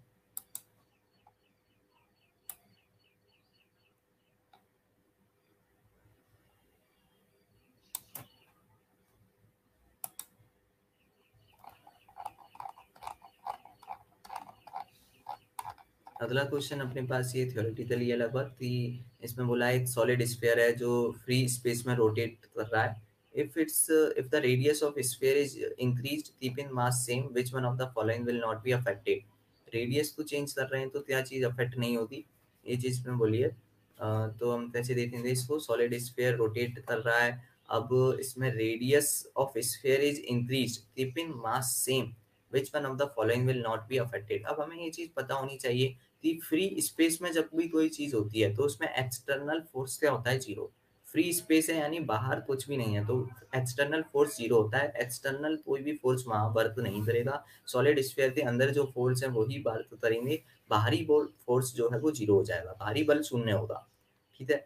और जब फोर्स नहीं होगा तो कोई वहाँ पे नेट टॉर्क भी नहीं आएगा। भाई, जो जड़त तो जो हम पढ़ते हैं, बलागुण टॉर्क जो पढ़ते हैं हम तो वो टॉर्क यहाँ पे ज़ीरो होगा, क्योंकि कोई एक्सटर्नल फोर्स नहीं है तो टॉर्क नहीं आएगा। और फिर उसकी वजह से वहाँ पे क्या नहीं होगा? जब टॉर्क नहीं आएगा तो इसकी वजह से वहाँ मोमेंट ऑफ़ इनर्शिया जो एंगुलर मोमेंटम है, वो कांस्टेंट होगा। कैसे होगा, वो चीज़ मैं बताता हूँ। आपको पता है टॉर्क का फॉर्मूला क्या होता है? एंगुलर मोमेंटम की टर्म में। जो टॉर्क होता है, वो होता है डीएल बाय डी टी जब डिफरेंशिएट फॉर्म में लिखते हैं तो डीएल बाय डी टी होता है। D D tau equals to D L by D T तो इस वजह से जब हम हमें पता है किसी भी जो कांस्टेंट क्वांटिटी होती है, उसका जो डिफरेंशिएशन होता है, वो ज़ीरो होता है। किसी भी कांस्टेंट क्वांटिटी का डिफरेंशिएशन क्या होता है? ज़ीरो तो जब हमें पता है कि टाउ इक्वल टू क्या है? डीएल बाई डी और जो हमारे पास में क्या है यहाँ पे? टाउ है, वो कितना होगा? ज़ीरो क्योंकि फ्री स्पेस है नेट फोर्स है नहीं तो टाउ ज़ीरो होगा तो उसकी वजह से यहाँ पे एल क्या हो जाएगा? कांस्टेंट एंगुलर मोमेंटम कांस्टेंट होता है। और ये डायरेक्ट भी हमें याद रखना होता है कि यहाँ फ्री स्पेस है तो वहाँ पे कभी भी जो है रोटेट करके भी बॉडी का जो एंगुलर मोमेंटम है, वो चेंज नहीं होता। एंगुलर मोमेंटम का फॉर्मूला होता है एल ओमेगा। मतलब कि अपने पास में क्या होता है आई ओमेगा। तो आई ओमेगा से हम देखते हैं कि आई ओमेगा हमेशा कांस्टेंट रहता है। आई बढ़ेगा तो ओमेगा घट जाएगा। ओमेगा बढ़ेगा तो आई घट जाएगा। ऐसा होता है। जैसे अब यहाँ पे रेडियस इंक्रीज कर रहे हैं तो जो मोमेंट ऑफ़ इनर्शिया वो इंक्रीज हो जाएगा तो उसकी फिर वेलोसिटी कम हो जाएगी। यानी ओमेगा डिक्रीज हो जाएगा। तो यहाँ से हम फाइंड करते हैं चीज़ की आई ओमेगा होता है। आई इंक्रीज होगा तो ओमेगा घट जाएगा। ओमेगा इंक्रीज होगा तो आई घट जाएगा। ऐसे हम यहाँ पे फाइंड करते हैं। तो मास को सेम रखते हुए तो हमें पता चलता है आंसर क्या होगा? एंगुलर मोमेंटम बात ही यहाँ पे moment of inertia radius change हो रही है तो वो चेंज होगा। एंगुलर वेलोसिटी मैंने बोल दिया। आई ओमेगा है। तो आई बढ़ रहा है तो जो ओमेगा है वो घटेगा रोटेशनल काइनेटिक एनर्जी क्या होती है? हाफ़ आई ओमेगा स्क्वायर आपको फॉर्मूला याद होगा। हाफ़ आई ओमेगा स्क्वायर होती है। तो वहाँ पे जो है, अगर हम हाफ़ आई ओमेगा होता टेबल तो तो कांस्टेंट मान लेते, लेकिन वहाँ होता है हाफ़ आई ओमेगा स्क्वायर तो उसकी वजह से चेंज होगा। या दूसरा फॉर्मूला रोटेशनल काइनेटिक एनर्जी का L square by two I होता है। जैसे हम और जो नॉर्मल वन डी मोशन होती है, उसमें P square by two M होता है, यहाँ पे होता है L square by two I तो एल तो कांस्टेंट है, लेकिन आई कांस्टेंट नहीं है आई तो इंक्रीज हो रहा है। तो इस वजह से यहाँ पे जो रोटेशनल काइनेटिक एनर्जी है, वो डिक्रीज होती, है ना? मोमेंट ऑफ़ एनर्जी इंक्रीज होगा एंगुलर वेलोसिटी डिक्रीज होगी रोटेशनल काइनेटिक एनर्जी भी डिक्रीज होगी ठीक है? ये समझ में आ रहा है? मोमेंट एंगुलर मोमेंटम केवल कांस्टेंट रहेगा। तो ये चीज़ आपको याद रखनी है, ये क्वेश्चन आपको बहुत पूछे जाते हैं, इसके ऊपर थ्योरेटिकल क्वेश्चन तो ये आपको समझ में आना चाहिए। गुड मॉर्निंग सोनम मौर्य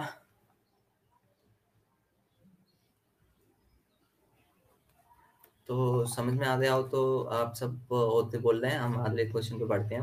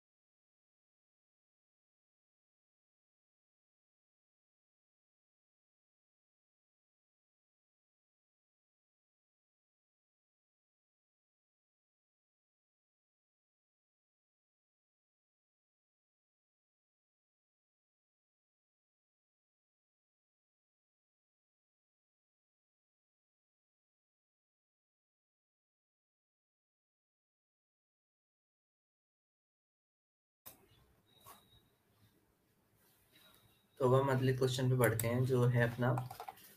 तो ये अपने पास में नाइनटीन क्वेश्चन है, इसमें आप देख सकते हैं। कि इन गिवन फिगर इसमें ये आपका एनएलएम चैप्टर से मतलब है क्वेश्चन तो इसमें आप कैसे देखेंगे तो यहाँ पे क्या है, अपने पास में एक रस्सी है। मतलब एक अपने पास में ये है लॉथ है एम जो रखा हुआ है हॉरिजॉन्टल सर सरफेस पर पुट है। और यह यहाँ पे इससे बंधा हुआ है अपने पास में। और यहाँ पे एक मंथी है जो इस पे चढ़ रहा है एम मास का मंथी, इस रोप को पकड़ते चढ़ रहा है, ठीक है? तो इससे क्या होगा, ये रस्सी नीचे थी भाई, जब ये है बंदर ऊपर चढ़ेगा तो रस्सी पे नीचे फोर्स लगाएगा, जिसकी वजह से रस्सी नीचे थी तो एम मास का जो ब्लॉक है, वो आगे की तरफ़ मूव होगा। तो जब किस एक्सेलरेशन से मूव वो मूव करेगा, ये पूछा है कि एक्सेलरेशन ऑफ़ ब्लॉक पूछा है यहाँ पे, ठीक है? तो गिवन फिगर में monkey move upward if respect to rope with acceleration A naught अब यहाँ पे जो है रस्सी के रेस्पेक्ट में एक्सेलरेशन है कितना ए नॉट बंदर का एक्सेलरेशन कौन सा दिया है का रस, रस्सी के रेस्पेक्ट में रस्सी के सापेक्ष में जो एक्सेलरेशन है त्वरण है वो कितना है? ए नॉट है। तो ब्लॉक का एक्सेलरेशन क्या होगा? ये चीज़ यहाँ पे पूछी है। तो अब इसको कैसे हम फाइंड करेंगे? वो चीज़ देखते हैं अभी। एनएलएम में मंथी वाले काफ़ी क्वेश्चन आपको देखते होंगे।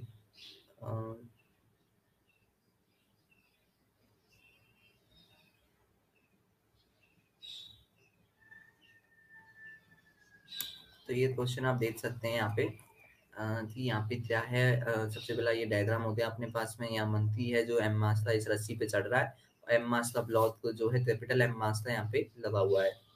तो जब इस पे चढ़ेगा तो यहाँ पे टेंशन जनरेट होगी, है ना? टेंशन जनरेट होगी तो हम बोल सकते हैं ब्लॉक पे आधी की तरफ़ टेंशन लगी थी। अब यहाँ से पता चल रहा है कि जो, अब जब ब्लॉक मूव करेगा आधी की तरफ़ तो उस पर कोई ना कोई नेट फोर्स होना चाहिए। तो नेट फोर्स क्या है यहाँ पे? जो उसको मूव करा रहा है टेंशन भाई, केवल टेंशन ही तो है जिसकी वजह से ये मूव करेगा। तो उस टेंशन की वैल्यू निकालनी है और उसको एम ए थी इक्वल कर देना है। हमारे पास ए की वैल्यू आ जाएगी। अब वो टेंशन कहाँ से आई थी वो चीज़ है। तो सबसे पहले कैपिटल एम मास के लिए capital T tension equal to क्या होगा? नेट फोर्स से। तो एम ए लेती है mass into acceleration small M mass के लिए, यानी बंदर के मास के लिए हम निकाल रहे हैं। तो इस पे नेट फोर्स क्या होगा? सबसे पहले ये फाइंड करते हैं तो इस पे नीचे जो फोर्स लग रहा होगा ग्रेविटेशनल फोर्स एम लग रहा होगा, ऊपर जो है वो टेंशन है।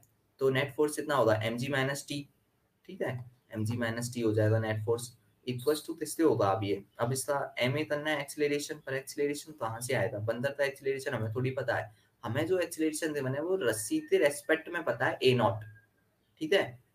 रस्सी के रेस्पेक्ट में ए नॉट है, और रस्सी का एक्सिलेशन कितना है? ए जो ब्लॉक का एक्सिलेशन है, वही तो रस्सी का एक्सिलेशन होगा ए तो रस्सी का एक्सिलेशन ए है और रस्सी के रेस्पेक्ट में अंदर था ए नॉट है। तो हम जब इक्वेशन बनाएँगे थी acceleration of monthly with respect to rope equals to क्या होगा? Acceleration of monthly minus acceleration of rope acceleration of monthly with respect to rope क्या होगा? ए नॉट है ना? इक्वल्स टू करेंगे एक्सेलरेशन ऑफ़ मंथली जो हमें निकालना है। माइनस एक्सेलरेशन ऑफ़ रोप जो ए है। तो यहाँ से एक्सेलरेशन ऑफ़ मंथली की वैल्यू अपने पास में आ जाएगी ए माइनस ए नॉट समझ में आ रहा है? ए माइनस ए नॉट यहाँ पे वैल्यू आ जाएगी। रेस्पेक्ट टर्म गिवन है क्वेश्चन में तो ए नॉट जो है वो रेस्पेक्ट में है। के रेस्पेक्ट में एक्सेलरेशन गिवन है ए नॉट तो हम यहाँ से हमारे पास एक्सेलरेशन जो है मंथली का कितना आएगा ए माइनस ए नॉट रस्सी ते में से रेस्पेक्ट वाला बताएँगे तो अपने पास में जो मंथली का एक्सेलरेशन वो आ जाएगा ए माइनस ए नॉट तो यहाँ पे अब हम वैल्यू पुट कर दें। ये इक्वेशन बन रही नेट फोर्स कितना एम जी माइनस टी उसको कर दिया M A T equals A कितना acceleration A minus A naught M G minus tension कितना है? M A capital M A जो हमने पहली इक्वेशन से निकाली इक्वल्स कर दिया M A minus A naught अब यहाँ पे हम आते इसको सॉल्व करेंगे, पूरा इसको ओपन करेंगे तो M A minus M A naught हो जाएगा ये। अब यहाँ से हमें इसकी वैल्यू निकालनी है। ए की वैल्यू चाहिए। एक्सिलेशन निकालना है ना तो ए ए वाली टर्म जो है, जिसमें एक्सिलेशन ए आ रहा है, उसको एक साइड में ले लिया तो ये हो जाएगा कैपिटल एम ए तो राइट हैंड साइड ले जाएँगे तो small M A plus capital M A equals to M G plus M A naught ठीक है? Small M G mine plus small M into A naught ये हो जाएगा। स्मॉल एम कॉमन आ जाएगा तो जी प्लस ए नॉट आ जाएगा यहाँ पे। और हमें चाहिए एक्सेलरेशन तो एक्सेलरेशन कॉमन लेते small M plus capital M equals to M G plus A naught और small M plus capital M से डिवाइड कर देंगे उधर तो कितना आ जाएगा M G plus A naught divide by small M plus capital M ये इक्वेशन यहाँ पे बनेगी। तो ये अपने पास में आंसर आ जाएगा M G plus A naught divide by M plus M small M plus capital M ये अपने पास में इक्वेशन आती है। तो कैसे हुआ ये समझ में आया होगा कि हाँ हमने यहाँ पे जो है आ, सबसे पहले क्या लिया थी सबसे पहले तो हमने ब्लॉक के लिए इक्वेशन ली थी capital T equal to M A फिर हमने बंदर एम मास के बंदर के लिए लेता net force M G minus T इसको एम ए किया एक्सिलेशन निकाला ए माइनस ए नॉट क्योंकि डायरेक्ट एक्सिलेशन गिवन नहीं था। फिर आधे इसको सॉल्व कर लिया है टी की वैल्यू यहाँ पे पुट कर दे तो हमें ए की वैल्यू आ गई कितनी? M G plus A naught upon M plus M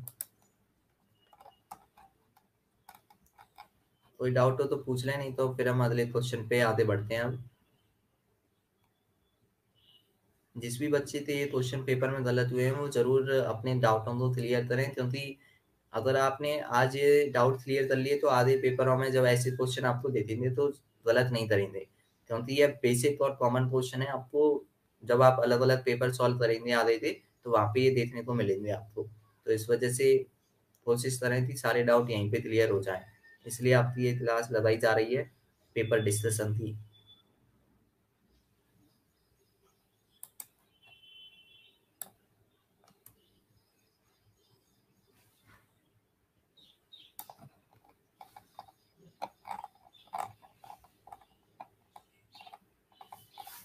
अब अपने पास एक क्वेश्चन है, अपने देख सकते हैं यहाँ पे।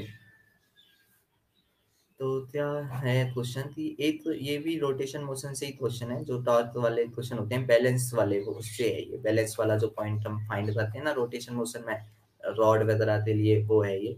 तो एक वेटलेस रॉड है is acted upon by upward parallel forces of 2 newton and 4 newton at end A and B respectively मतलब अगर हम डायग्राम ड्रॉ करने की कोशिश करेंगे तो एक रॉड है। उसका कोई मास यहाँ पे गिवन नहीं है तो उसको मासलेस बोल दिया, है ना? और अब उस पर दो फोर्स लग रहे हैं दोनों कॉर्नर्स पे। ए और बी दोनों कॉर्नर है रोड पे, उस पर टू न्यूटन और फोर न्यूटन का फोर्स लग रहा है अपवार्ड दोनों पैरेलल फोर्स है, ऐसा नहीं है कि कोई एंगल पे है, दोनों पैरेलल फोर्स है नॉर्मल फोर्स तो टू न्यूटन फोर न्यूटन दोनों एंड पे लग रहे हैं। टोटल लेंथ दी है रॉड थी तीन मीटर है A B B C length A B length जो है वो तीन मीटर है। अब इसमें रॉड को इक्विलिब्रियम में रखना है। इक्विलिब्रियम में रखने के लिए सिक्स न्यूटन का फोर्स यहाँ नीचे लगा रहे हैं। भाई, जब ऊपर फोर्स लग रहा है टू न्यूटन फोर न्यूटन का तो नीचे फोर्स लगेगा तो वो फोर्स की वैल्यू है सिक्स न्यूटन कहाँ लगेगा नीचे। ठीक है, ये समझ में आ रहा है। अब हमें कौन से पॉइंट पे लगाना होगा? ये चीज़ पूछिए। भाई सिक्स न्यूटन का फोर्स नीचे लगेगा, ये तो पता है, पर वो मिडल में लगेगा, या फिर वो ए एंड पे लगेगा बी एंड पे लगेगा, या कौन सी टू न्यूटन की साइड होगा फोर न्यूटन की साइड होगा, वो पूछा है यहाँ पे। तो उसके लिए हमें अब फाइंड करना होगा कि कैसे सिक्स न्यूटन का फोर्स लगेगा कौन से पॉइंट पे? तो उसके लिए हम क्या फाइंड करेंगे यहाँ पे? देखते हैं तो यहाँ पे फोर्स को जो है टॉर्क से करेंगे इसको। टॉर्क को बैलेंस करना है रॉड को तो टॉर्क सेम होना चाहिए। जब भी हम ऐसे रॉड के बैलेंस वाले क्वेश्चन देखते हैं तो एक तो अपने पास में होता है, एक तो हम इक्वेशन बनाते हैं जो नॉर्मल फोर्स बैलेंस कर रहे हैं। तो two newton plus four newton six newton थे इक्वल से तो समझ में आ रहा है। जब हम रोटेशन की बात करते हैं तो वहाँ पे टॉर्क भी कांस्टेंट मतलब सेम होना चाहिए। टॉर्क भी तो ज़ीरो होगा नेट टॉर्क तभी तो वो बैलेंस रही थी रोटेट नहीं करनी चाहिए। तो वो कौन से पॉइंट पे रखते हैं, उसको ये चीज़ यहाँ पे है तो देखते हैं, उसको हम कैसे फाइंड करेंगे।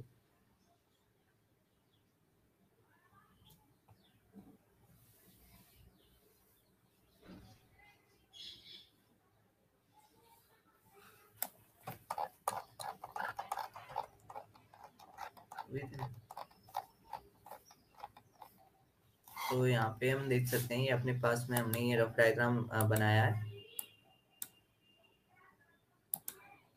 तो ये अपने पास में आप देख सकते हैं कि ये रॉड है ए बी रॉड जिसको हमने रफ डायग्राम ड्रॉ किया इसलिए। ए बी रॉड है ये है ना? ये इसकी जो लेंथ है वो तीन मीटर हमें थे बने।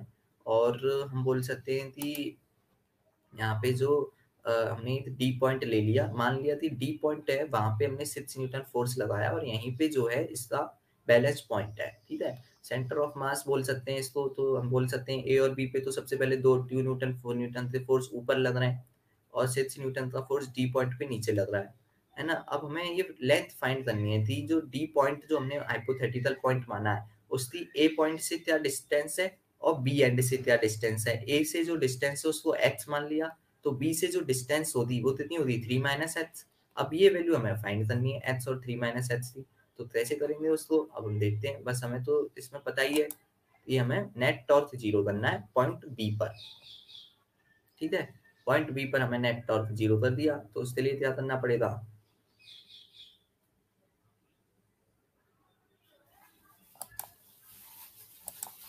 तो यहाँ पे हम बोल सकते हैं कि अब जब पॉइंट बी पे निकालेंगे तो टॉर्क क्या होता है? टॉर्क का फॉर्मूला क्या होता है? फोर्स इंटू में जो लेंथ है आर परपेंडिकुलर लेंथ जिसे बोलते हैं वो रेडियल लेंथ तो सिक्स इंटू में रेडियल लेंथ इतनी थ्री माइनस एक्स और डायरेक्शन कौन सी होती है डायरेक्शन कैसे निकालते हैं टॉर्क वाली। वो आपको आना चाहिए डायरेक्शन मैं बता देता हूँ आपको।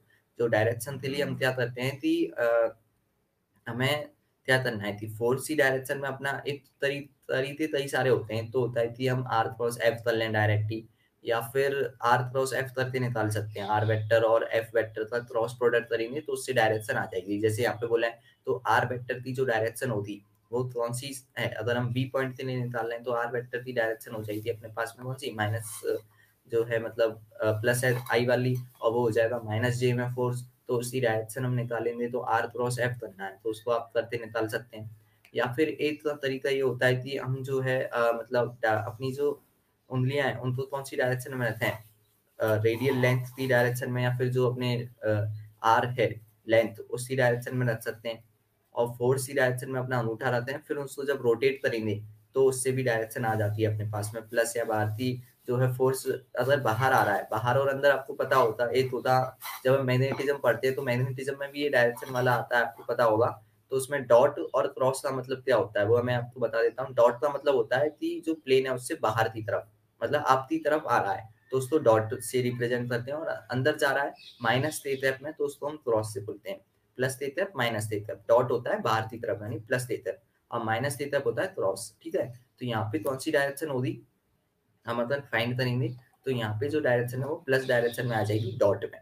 ठीक है? कौन से? सिक्स न्यूटन फोर्स थी जबकि अगर हम देखते हैं टू न्यूटन के लिए टू न्यूटन के लिए अगर हम देखेंगे तो यहाँ पे जो डायरेक्शन होगी वो कौन सी होगी? यहाँ पे जो डायरेक्शन वो माइनस में आई थी इसलिए टू न्यूटन के लिए। तो ये समझ में आना चाहिए थी हाँ टू टू न्यूटन के लिए कौन सी डायरेक्शन आ रही है और फोर न्यूटन के लिए मतलब सिक्स न्यूटन के लिए कौन सी आ रही है। तो यहाँ पे अपोजिट है। और वैसे भी पता चल रहा है कि सिक्स न्यूटन नीचे है टू न्यूटन ऊपर है, दोनों फोर्स की डायरेक्शन अपोजिट है तो फिर जो टॉर्क है उसकी डायरेक्शन भी अपोजिट आएगी यानी माइनस तो आएगा ही बीच में। तो six into three minus X और टू के लिए डिस्टेंस टोटल कितनी है? थ्री तो two into three equal to हो जाएगा। बी पॉइंट पे जो है निकालना है तो इसलिए इनकी वैल्यू अब इक्वस करनी है हमें, क्योंकि ये ज़ीरो से इक्वस होना चाहिए। नेट टॉर्क ज़ीरो चाहिए बी पॉइंट पे। तो यहाँ पे ये छह अठारह हो गया minus six X minus six equals to zero eighteen minus six हो गया, ट्वेल्व ट्वेल्व इक्वस टू कितना हो जाएगा? सिक्स एक्स से तो एक्स की वैल्यू कितनी आ जाएगी? ट्वेल्व बाय सिक्स यानी टू तो एक्स की वैल्यू टू आएगी। यानी डी पॉइंट जो है वो ए से कितनी डिस्टेंस पे होगा? टू सेंटीमीटर पे, और बी से कितना होगा? फिर वन सेंटीमीटर पे होगा। ये चीज़ है मतलब जो सेंटर ऑफ़ मास है वो बी की तरफ़ शिफ्टेड है।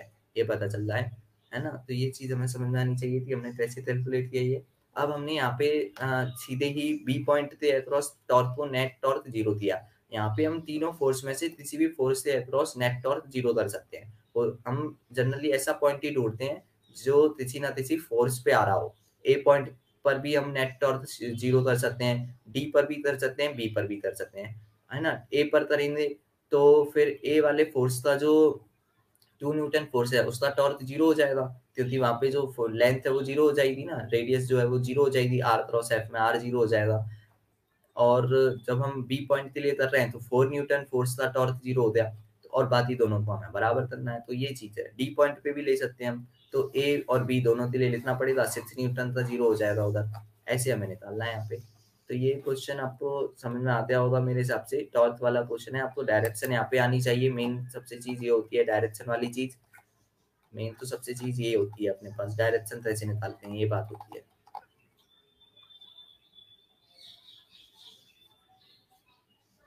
कोई भी डाउट हो तो पूछ सकते हैं, फिर हम अगले क्वेश्चन पे बढ़ते हैं।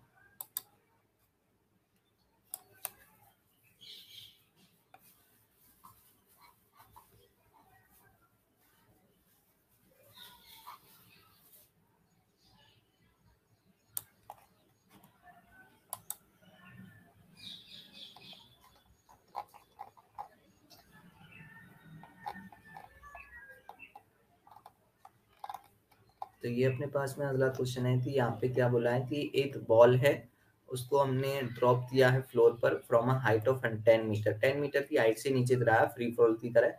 फिर यह ज़मीन से टकराने के बाद रिबाउंड करी मतलब फिर से ऊपर उठेगी, फिर से उछलेगी। फिर ये टेन मीटर की हाइट तक नहीं उछली कितनी उछली केवल टू पॉइंट फाइव मीटर तक, ठीक है? दूसरे केस में। If the ball is in contact with the floor for point zero one second कि फ्लोर के कांटेक्ट में कितने समय के लिए आती है? पॉइंट ज़ीरो वन सेकेंड के लिए। तो एवरेज एक्सीलरेशन ड्यूरिंग कांटेक्ट जब बॉल जो है सरफेस से कांटेक्ट में आ रही है तो उस समय कितना एवरेज एक्सीलरेशन होगा, ये पूछा है। ठीक है, ये चीज़ समझ में आ रही है? कितने टाइम के लिए कांटेक्ट में आई? पॉइंट ज़ीरो वन सेकेंड के लिए। एवरेज एक्सेलरेशन क्या होगा? ये चीज़ पूछिए। तो अब हम कैसे उसको फाइंड करेंगे? देखते हैं डायग्राम के थ्रू इसको समझेंगे। सबसे पहले तो इसका डायग्राम बनाना पड़ेगा हमें, क्योंकि लैंग्वेज से हमें ये क्वेश्चन कुछ भी समझ में नहीं आएगा, पर डायग्राम से आसान हो जाएगा।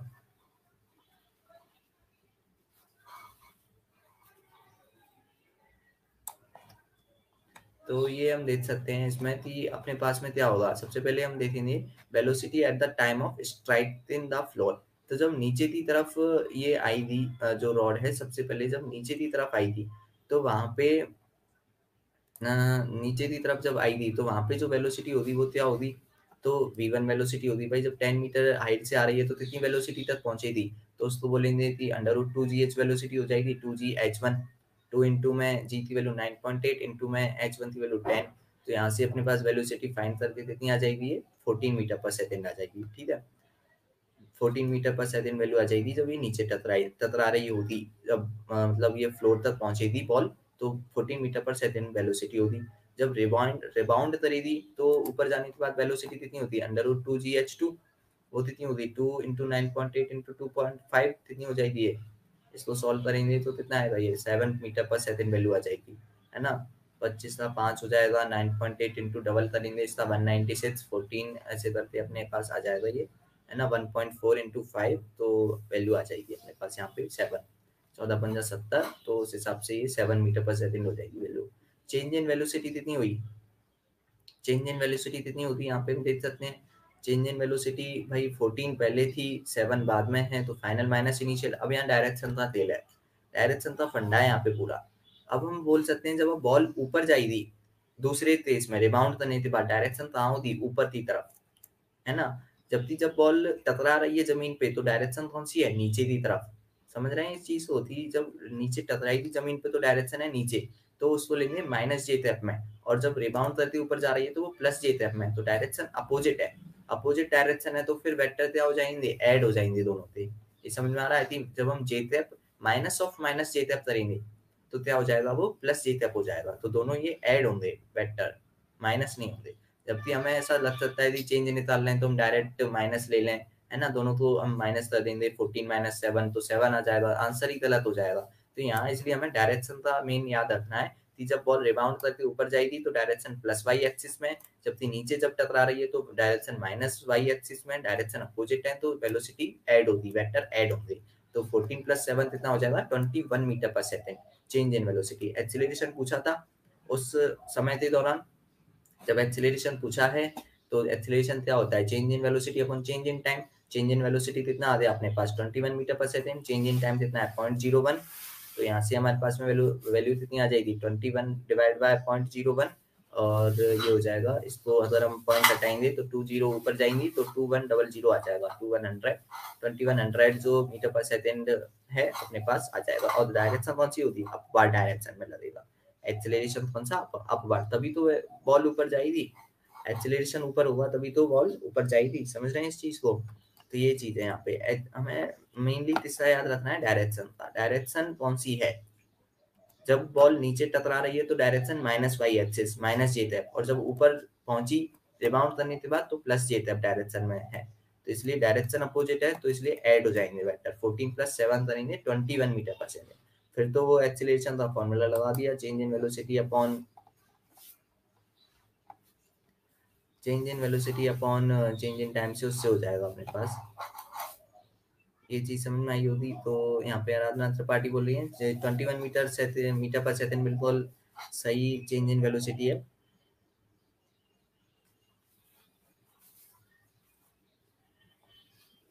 तो हम अगले क्वेश्चन की तरफ़ बढ़ सकते हैं।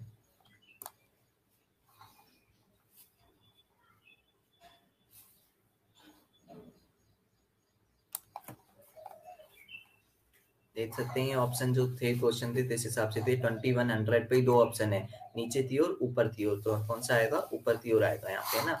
क्योंकि जो बॉल है वो ऊपर जा रही है फाइनल जो रिबाउंड करने के बाद तो इसलिए ऊपर दिया आएगा अपवार्ड डायरेक्शन इंग्लिश में अपवार्ड अगला क्वेश्चन क्या है?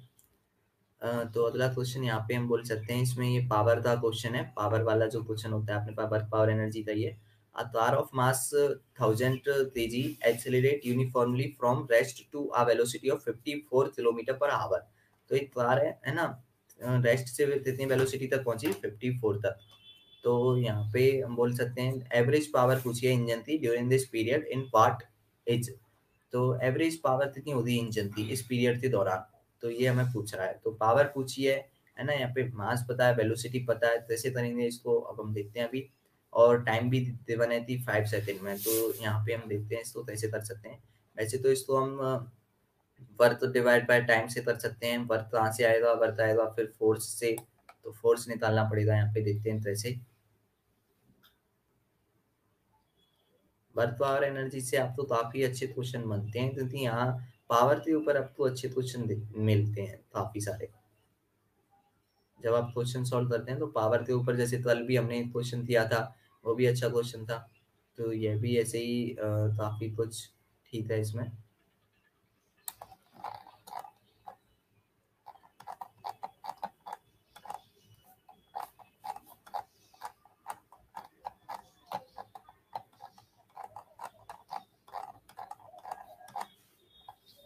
तो ये देख सकते हैं आप ये यहाँ पे पावर जो है वो क्या है? Birth divide by time birth done divide by time जो मैंने बोला वही फॉर्मूला लगेगा, इसमें बर्थ डन था क्योंकि यहाँ वेलोसिटी टाइम है ना, सब चीज़ दिवन है तो फिर बर्थ डन वाली चीज़ आएगी यहाँ पे, और मास दिवन है तो फोर्स से आएगा।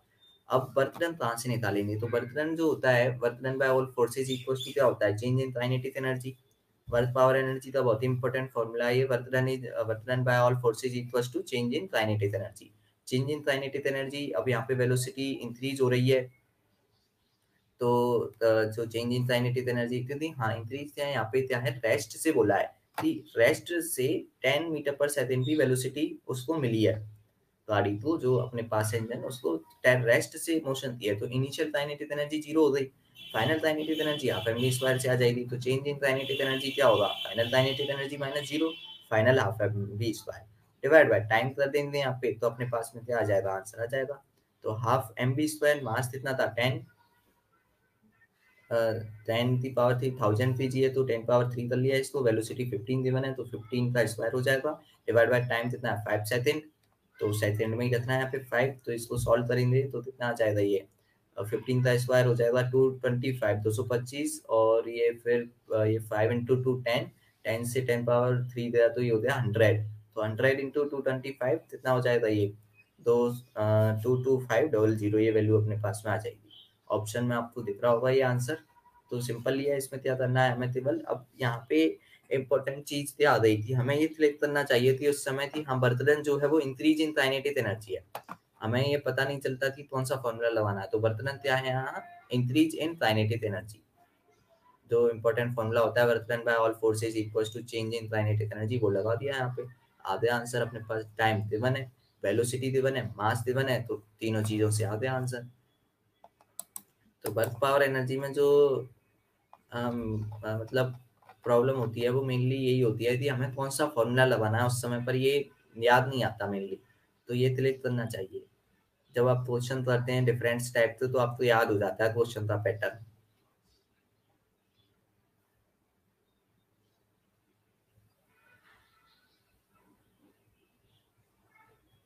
कोई डाउट नहीं है तो अब हम आधे क्वेश्चन पे बढ़ सकते हैं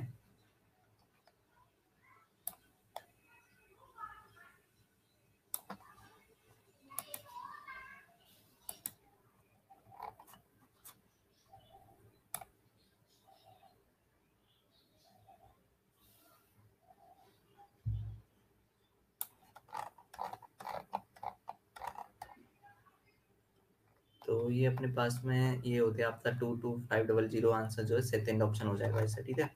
अब अगला क्वेश्चन जो है वो क्या दे रहा है अपने पास। ये भी वही अपना मैक्सिमम कंप्रेशन ऑफ़ स्प्रिंग के ऊपर वर्क पावर एनर्जी से ये यहाँ पे भी एनर्जी चेंज होगा। तो यहाँ पे क्या है अपने पास, ये प्लेटफॉर्म देवन है, इसके ऊपर क्या है इस बॉल को यहाँ से फाइव मीटर हाइट से नीचे छोड़ा जाएगा, एक ब्लॉक को। तो ये ब्लॉक अभी इनिशियल इससे जुड़ा हुआ है। तो ज़ीरो वेलोसिटी होगी इनिशियल लेकिन फाइव मीटर जब ये नीचे जाएगा तो उसकी जो पोटेंशियल एनर्जी स्टोर्ड है, वो नीचे जाते काइनेटिक एनर्जी में क्या हो जाएगी? चेंज हो जाएगी, ये समझ में आ रहा है? और वो काइनेटिक एनर्जी वाला के साथ में जब ब्लॉक कुछ वेलोसिटी से मूव करेगा, और उस वेलोसिटी से मूव करते हुए से टकराएगा स्प्रिंग से। तो स्प्रिंग से टकराने में जो एनर्जी है, स्प्रिंग में क्या होगा? कंप्रेशन। तो स्प्रिंग में कौन सी एनर्जी स्टोर होगी? Spring energy. तो काइनेटिक एनर्जी जो स्टोर थी वो किसमें चेंज हो जाएगी? स्प्रिंग एनर्जी में। तो यही चीज़ पूछेगा अब। मैक्सिमम कंप्रेशन पूछता है इन सवालों में। तो हम सबसे पहले क्या करेंगे? नीचे जो ब्लॉक आएगा तो उसकी वेलोसिटी फाइंड करेंगे। तो उसके लिए क्या करना पड़ेगा? ऊपर ज़ीरो है तो नीचे क्या आएगा? Under root two g h. H पता है? Under root two into ten into five हो जाएगा ये। कितना आ जाएगा value? Ten metre per second की वैल्यू आ जाएगी। अब ब्लॉक जो है नीचे टेन मीटर पर सेकेंड से मूव कर रहा है तो जब स्प्रिंग से टकराएगा तो हम मैक्सिमम कंप्रेशन देखते हैं। मैक्सिमम कंप्रेशन का मतलब ये है कि बॉल जो मतलब ब्लॉक है, वो थोड़ा सा टकराया, फिर स्प्रिंग कंप्रेस होगी तो और उसमें टकराता जा रहा है। जब तक अब जब ब्लॉक टकरा रहा है ना तो उसकी एनर्जी चेंज होती जा रही है। काइनेटिक एनर्जी चेंज हो रही है तो इसमें स्प्रिंग एनर्जी में। तो वेलोसिटी क्या होती जाएगी? डिक्रीज होती चली जाएगी। और धीरे धीरे करके एक पॉइंट पे क्या हो जाएगी वेलोसिटी ज़ीरो और ब्लॉक क्या हो जाएगा, रुक जाएगा। ब्लॉक रुक जाएगा, उस समय पर जो स्प्रिंग में एनर्जी होगी, वो मैक्सिमम एनर्जी कहलाएगी। मैक्सिमम कंप्रेशन होगा, क्योंकि ब्लॉक के रुकने के बाद और ज़्यादा कंप्रेशन नहीं हो सकता। तो वो मैक्सिमम कंप्रेशन कहलाएगा तो वो निकालना है यहाँ पे। तो हमें क्या करना पड़ेगा कि पूरी की पूरी काइनेटिक एनर्जी को इसमें चेंज कर दिया स्प्रिंग एनर्जी में। तो जो half m v square kinetic energy होगी टेन मीटर पर सेकेंड से, उसको हम हाफ़ एक्स स्क्वायर से बराबर कर देंगे। वैल्यू आ जाएगी अपने पास। यहाँ पे स्प्रिंग कांस्टेंट दिवन है 400 न्यूटन पर मीटर ठीक है? और मास हमें यहाँ पे दिवन है 14 ग्राम मास है। ब्लॉक का तो 14 ग्राम को हम किलोग्राम में चेंज कर लेंगे। आंसर आ जाएगा अपने पास। ये चीज़ है। तो यहाँ पे हम देख लेते हैं इसका सॉल्यूशन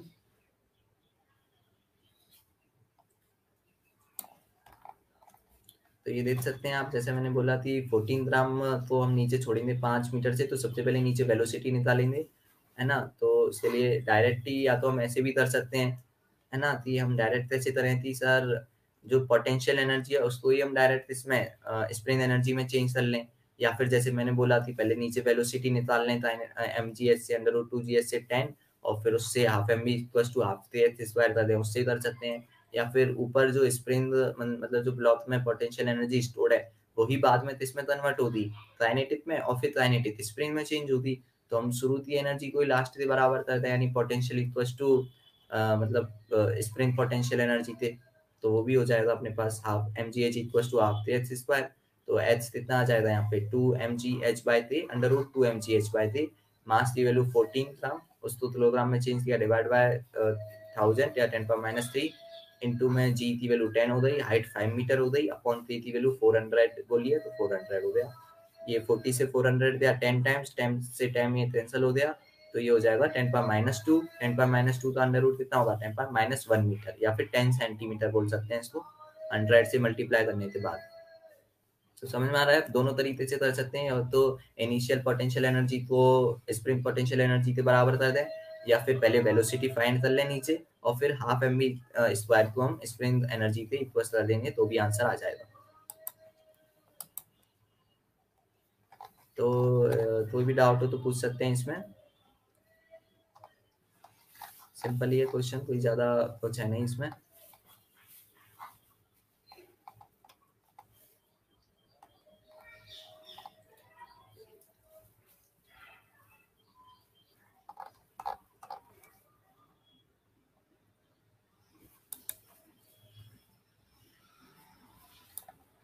अब अगला क्वेश्चन हम देखते हैं तो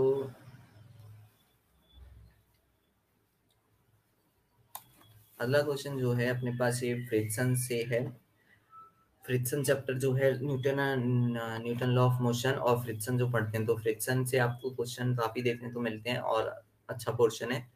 न्यूटन जो एनएलएम है, उससे क्वेश्चन एक क्वेश्चन आप एनएलएम से मान सकते हैं और पेपर में एक क्वेश्चन आप फ्रिक्शन से मान ही सकते हैं, लगभग आते ही हैं ये क्वेश्चन तो। तो इस क्वेश्चन में देखते हैं तो अपने पास टू ब्लॉक है ये। Two kilogram and three kilogram थे। डबल ब्लॉक सिस्टम इसको बोलते हैं हम double block system two kilogram three kilogram के दो ब्लॉक हैं। यहाँ पे अब कंडीशन बनती है अलग अलग ऐसे बोलता है कि थ्री किलोग्राम और सरफेस के बीच में फ्रिक्शन है या नहीं है एक तो वो कंडीशन और एक दोनों ब्लॉकों के बीच में फ्रिक्शन है या नहीं ये। तो इस वाले क्वेश्चन में हमें थ्री किलोग्राम और सरफेस के बीच में कोई भी फ्रिक्शन नहीं बोला है, लेकिन टू किलोग्राम और थ्री किलोग्राम के बीच में फ्रिक्शन देवन है। और उसका फ्रिक्शन कोफिशियंट कितना है? पॉइंट फाइव ये चीज़ बोली है तो हमसे अब दोनों और टू किलोग्राम ब्लॉक पे यहाँ पे देख सकते हैं डायग्राम में ट्वेंटी न्यूटन का फोर्स अप्लाई है टू किलोग्राम ब्लॉक पे, जिससे ये आगे मूव करेगा सिस्टम अब दोनों का एक्सिलेशन पूछा है। तो कैसे देखेंगे? सबसे, दोनों ब्लॉक के लिए हम एफबीडी बनाएँगे free body diagram free body diagram बनाएँगे तो टू किलोग्राम के लिए कौन कौन से फ्री बॉडी डायग्राम में हम सारे फोर्स शो करते हैं? तो टू किलोग्राम पे कौन कौन से फोर्स लगेंगे? तो ट्वेंटी न्यूटन का फोर्स लगेगा। एक नॉर्मल लगेगा इस पे, ठीक है? नॉर्मल अप्लाई होगा और एक फ्रिक्शन फोर्स लगेगा।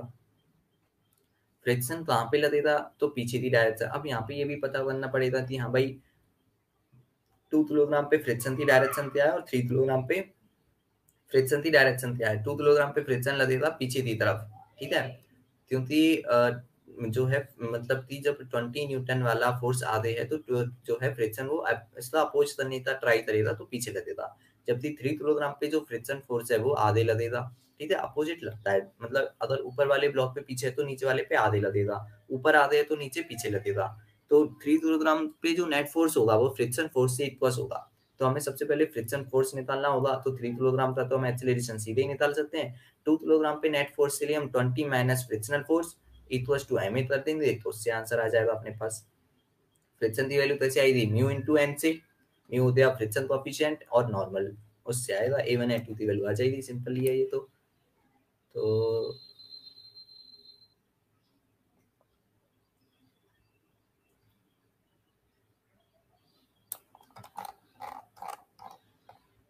तो देख सकते हैं ये क्वेश्चन आप जो है इसमें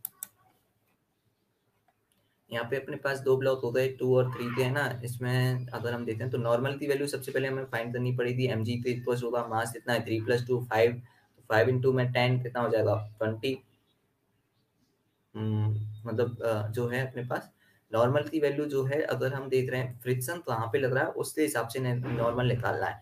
टोटल नॉर्मल देखेंगे स्मूथ सरफेस नीचे की तरफ़ तो वो तो कितना होगा? फिफ्टी लेकिन अगर टू किलोग्राम वाले ब्लॉक के लिए देख रहे हैं, अगर है ना, दोनों के बीच में जो नॉर्मल होगा वो केवल तीसरा फोर्स आएगा उधर, तीसरा मास आएगा टू किलोग्राम वाले ब्लॉक का तो ट्वेंटी आएगा नॉर्मल की वैल्यू ठीक है? तो नॉर्मल ट्वेंटी हो जाएगा यहाँ पे frictional force mu into n mu की वैल्यू पॉइंट फाइव नॉर्मल हो गया ट्वेंटी तो ट्वेंटी इंटू पॉइंट फाइव कितना हो गया? Ten newton ten newton value आ जाएगी।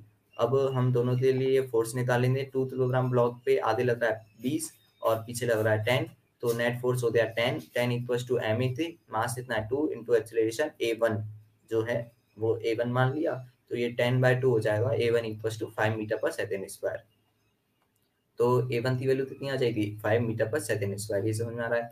थ्री किलोग्राम के ब्लॉक के लिए हम देख सकते हैं थ्री किलोग्राम के ब्लॉक के लिए जो है, यहाँ पे अब देखते हैं तो नेट फोर्स कौन सा है? फ्रिक्शनल फोर्स जो आधे लगेगा टेन न्यूटन और उससे हम एम ए टू के बराबर कर देंगे, मास की वैल्यू थ्री ए टू की वैल्यू फाइंड करनी है तो टेन बाय थ्री आ जाएगी।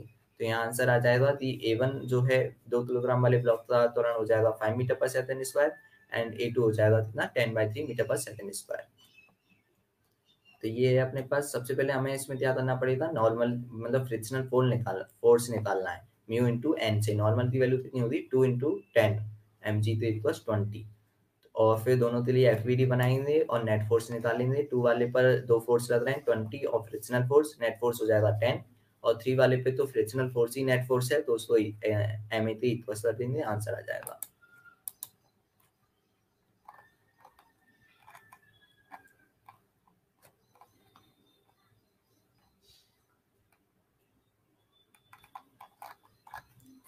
तो अब हम आते देख सकते हैं, समझ में आते हो तो आपको। कोई भी डाउट हो तो पूछ सकते हैं आप।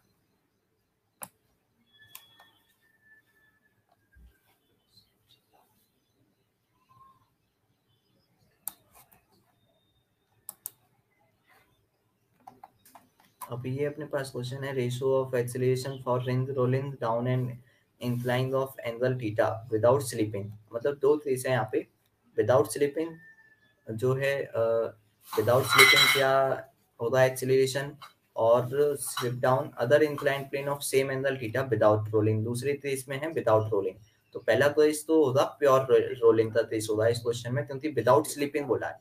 तो स्लिपिंग नहीं हो रही तो प्योर रोलिंग का केस है। और दूसरा जो केस है वो कौन सा है? विदाउट रोलिंग का, यानी स्लिपिंग हो रही है केवल। है ना? और दोनों के लिए एक्सिलेशन निकालना है। तो इसके लिए हमें पता है अब जब नकल सेम है, यानी इंक्लाइन प्लेन सेम है तो जो एक्सेलरेशन का फॉर्मूला होता है तो नॉर्मल कंडीशन में तो क्या होता है, अपने पास जी साइन थीटा होता है और और जो मतलब उसके लिए कौन सा होता है? जब रोटेशन मोशन जब प्योर रोलिंग होगी तो g sine theta upon one plus t square by r square ही होता है फॉर्मूला तो दोनों तो हम यहाँ पे बस निकालना है रेशियो करना है तो डिवाइड कर देंगे यहाँ पे g sine theta upon g sine theta by one plus t square by r square तो जी साइन थीटा से जी साइन थीटा कट जाएगा. तो स्क्वायर बाय आर स्क्वायर की वैल्यू बिंदु के लिए कितनी होती है? वन तो स्क्वायर बाय आर स्क्वायर की वैल्यू जो है वो उनके प्रिंसिपल एक्सिस से जो मोमेंट ऑफ़ इनर्शिया है उसका जो मैग्नीट्यूड क्वांटिटी है वो लेनी होती है। जैसे रिंग के लिए कितना होता है एम आर स्क्वायर तो आधे क्या आएगा वन है ना? डिस्क है तो m r square by two तो इसलिए वन बाय टू होती है तो स्क्वायर बाय आर स्क्वायर की वैल्यू सॉलिड स्फीयर है तो इसलिए टू बाय फाइव होती है ऑलो स्फीयर के लिए कितनी होती है? टू बाय थ्री होती है, ऐसे करके हम निकालते हैं। तो देख सकते हैं इसका हम सॉल्यूशन क्या होगा।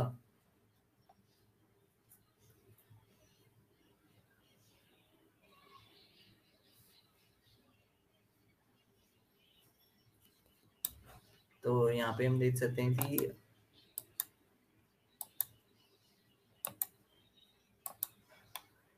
तेईस बने, सबसे पहला तेईस प्योर रोलिंग का है तो उसमें तुरंत का फॉर्मूला आ जाएगा एक्चुअली का g sine theta upon one plus तेईस बाय आर स्क्वायर फॉर्मूला आपको डायरेक्ट डेरिवेशन से आता है ये फॉर्मूला वैसे तो पर हमें जब प्योर रोलिंग पढ़ते हैं तो उसमें ये फॉर्मूले याद रखने होते हैं, तीन फॉर्मूले होते हैं। मेन तो एक्सिलेशन का टाइम का और हाइट का फॉर्मूला होता है, ठीक है?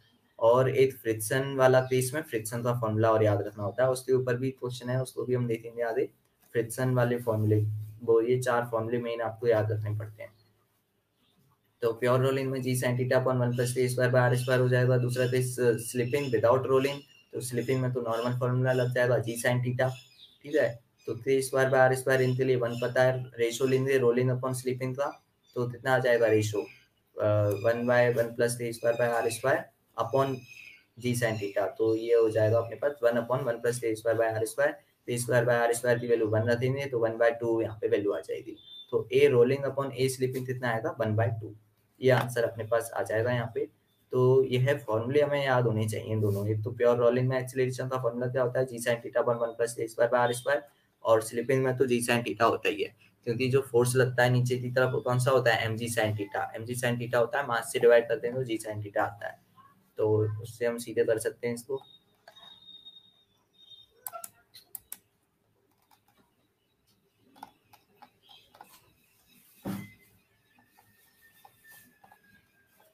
कोई भी डाउट हो तो पूछ सकते हैं और फिर हम नहीं तो आगे बढ़ते हैं क्वेश्चन पे।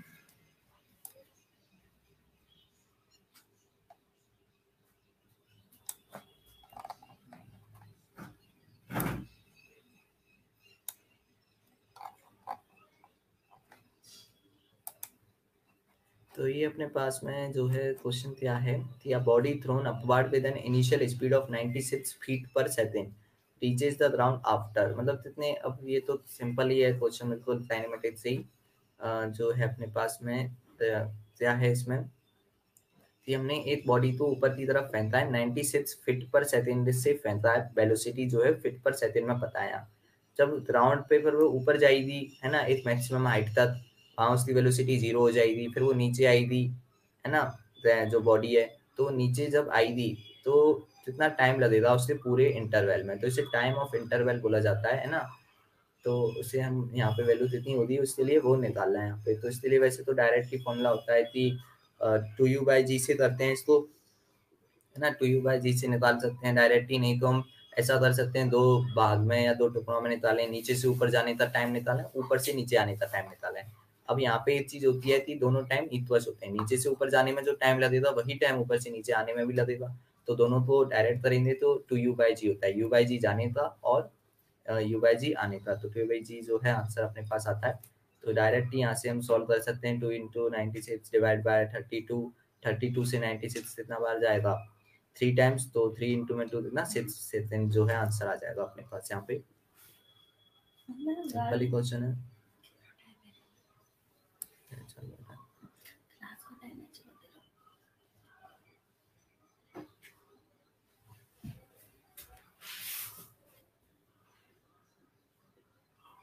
तो देख सकते हैं यहाँ पे हमने बॉल को फेंका है ninety six feet per second की वेलोसिटी से है ना? तो टाइम कितना लगेगा टू यू बाई जी लगेगा टाइम नहीं तो आप अगर किसी को ये फॉर्मूला नहीं भी याद हो तो आप लगा सकते हैं यहाँ से। V equals to u plus a t लगाएँगे तो उससे आंसर आ जाएगा। इनिशियल वेलोसिटी नाइनटी सिक्स ऊपर पहुँचने में ऊपर हाईएस्ट पॉइंट पे वेलोसिटी ज़ीरो हो जाएगी तो वी की वैल्यू ज़ीरो रखेंगे।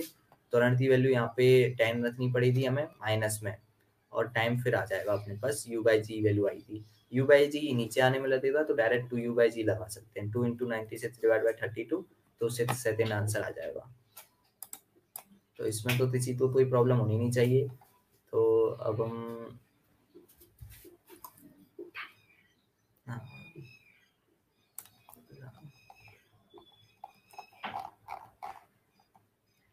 एक क्वेश्चन और देख लेते हैं हम अभी। इसमें क्या है? फोर्स कांस्टेंट जो है वेटलेस स्प्रिंग का। वो कितना है सिक्सटीन न्यूटन पर, ये भी स्प्रिंग वाला ही है तो इसमें वेटलेस स्प्रिंग का फोर्स कांस्टेंट पता है। बॉडी ऑफ़ मास वन के g suspended from its pull down through five centimetre and then release मतलब एक स्प्रिंग है जो अब लड़ती हुई है। ऊपर किसी हमने सरफेस से या सपोर्ट से उसको लटका दिया है और उसका स्प्रिंग कांस्टेंट पता है कितना? सिक्सटीन न्यूटन पर मीटर अब यहाँ पे एक बॉडी को इस स्प्रिंग के सहारे से, इस स्प्रिंग से अटैच करके हमने सस्पेंड कर दिया है वन थ्री जी की बॉडी को। और उसको फिर खींचा है फाइव सेंटीमीटर तक और फिर रिलीज़ किया है। ठीक है?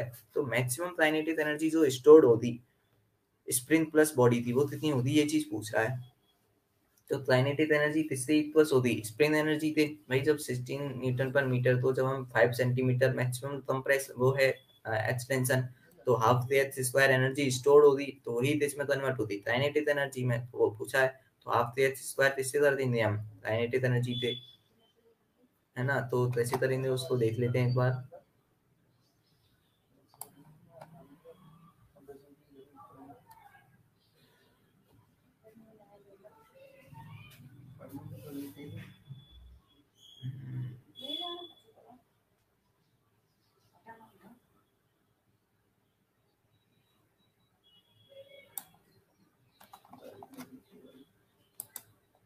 तो यहाँ पे हम देख सकते हैं हमने दो कंडीशन बनाई स्प्रिंग की। सबसे पहली कंडीशन में स्प्रिंग सस्पेंडेड है वन के का ब्लॉक है नॉर्मल है अभी लेंथ लेकिन अब हमने इसको फाइव सेंटीमीटर तक एक्सटेंड कर दिया नीचे, है ना? तो यहाँ पे अब मैक्सिमम काइनेटिक एनर्जी जो होती, वो मैक्सिमम पोटेंशियल एनर्जी के इक्वल होती। पोटेंशियल एनर्जी कितनी स्टोर होती है? हाफ़ थे एच स्क्वायर तो वही निकालनी है इसमें। हाफ़ इंटू में थ्री की वैल्यू कितनी है? सिक्सटीन न्यूटन पर मीटर और एच जो है एक्सटेंशन वो कितना है? फाइव तो फाइव सेंटीमीटर है, इसको मीटर में चेंज करेंगे five into ten power minus two का स्क्वायर हो जाएगा तो एट इंटू में twenty five into ten power minus four आ जाएगा ये। ये आएगा two hundred into ten power minus four two into ten power minus two joule ये वैल्यू आ जाएगी, या पॉइंट ज़ीरो टू जूल भी बोल सकते हैं। तो कैसे हमें ये समझ में आना चाहिए थी यहाँ जब स्प्रिंग को हम एक्सटेंड करेंगे फाइव सेंटीमीटर तक तो ये मैक्सिमम एक्सटेंशन है। तो यहाँ पे पोटेंशियल एनर्जी स्टोर हो जाएगी स्प्रिंग में। भाई कंप्रेशन या एक्सटेंशन पे एनर्जी स्टोर होती है स्प्रिंग एनर्जी पोटेंशियल एनर्जी तो कितनी होगी वो? Half h square. और यही क्या होगी उसकी? काइनेटिक एनर्जी होगी। है ना? क्योंकि यहाँ पे ये ब्लॉक सिस्टम क्या करेगा? मूव तो उसकी वजह से काइनेटिक एनर्जी स्टोर हो जाएगी। तो मैक्सिमम काइनेटिक एनर्जी जो होगी वही इससे इक्वल होगी। मैक्सिमम पोटेंशियल एनर्जी थे तो हाफ़ एच स्क्वायर की वैल्यू यहाँ पे फाइंड करनी थी हमें बस। और कुछ हमें इसमें नहीं करना है। तो आ, हम देख सकते हैं।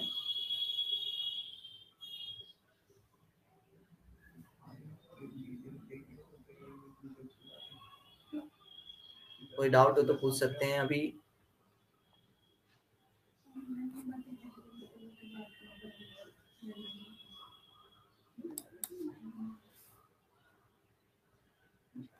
तो आज के लिए अभी हम यहीं पे स्टॉप करते हैं। जो बाकी क्वेश्चन है, उनको हम फिर अगली क्लास में डिस्कस करेंगे। और जो केमिस्ट्री के पेपर है आपका, उसको भी हम अगली क्लास में डिस्कस करेंगे। तो आप अच्छा ये होगा कि आप अपने डाउट पहले ही निकालते लाएँ, जिससे हम उन क्वेश्चन को ज़्यादा अच्छे से डिस्कस कर सकें।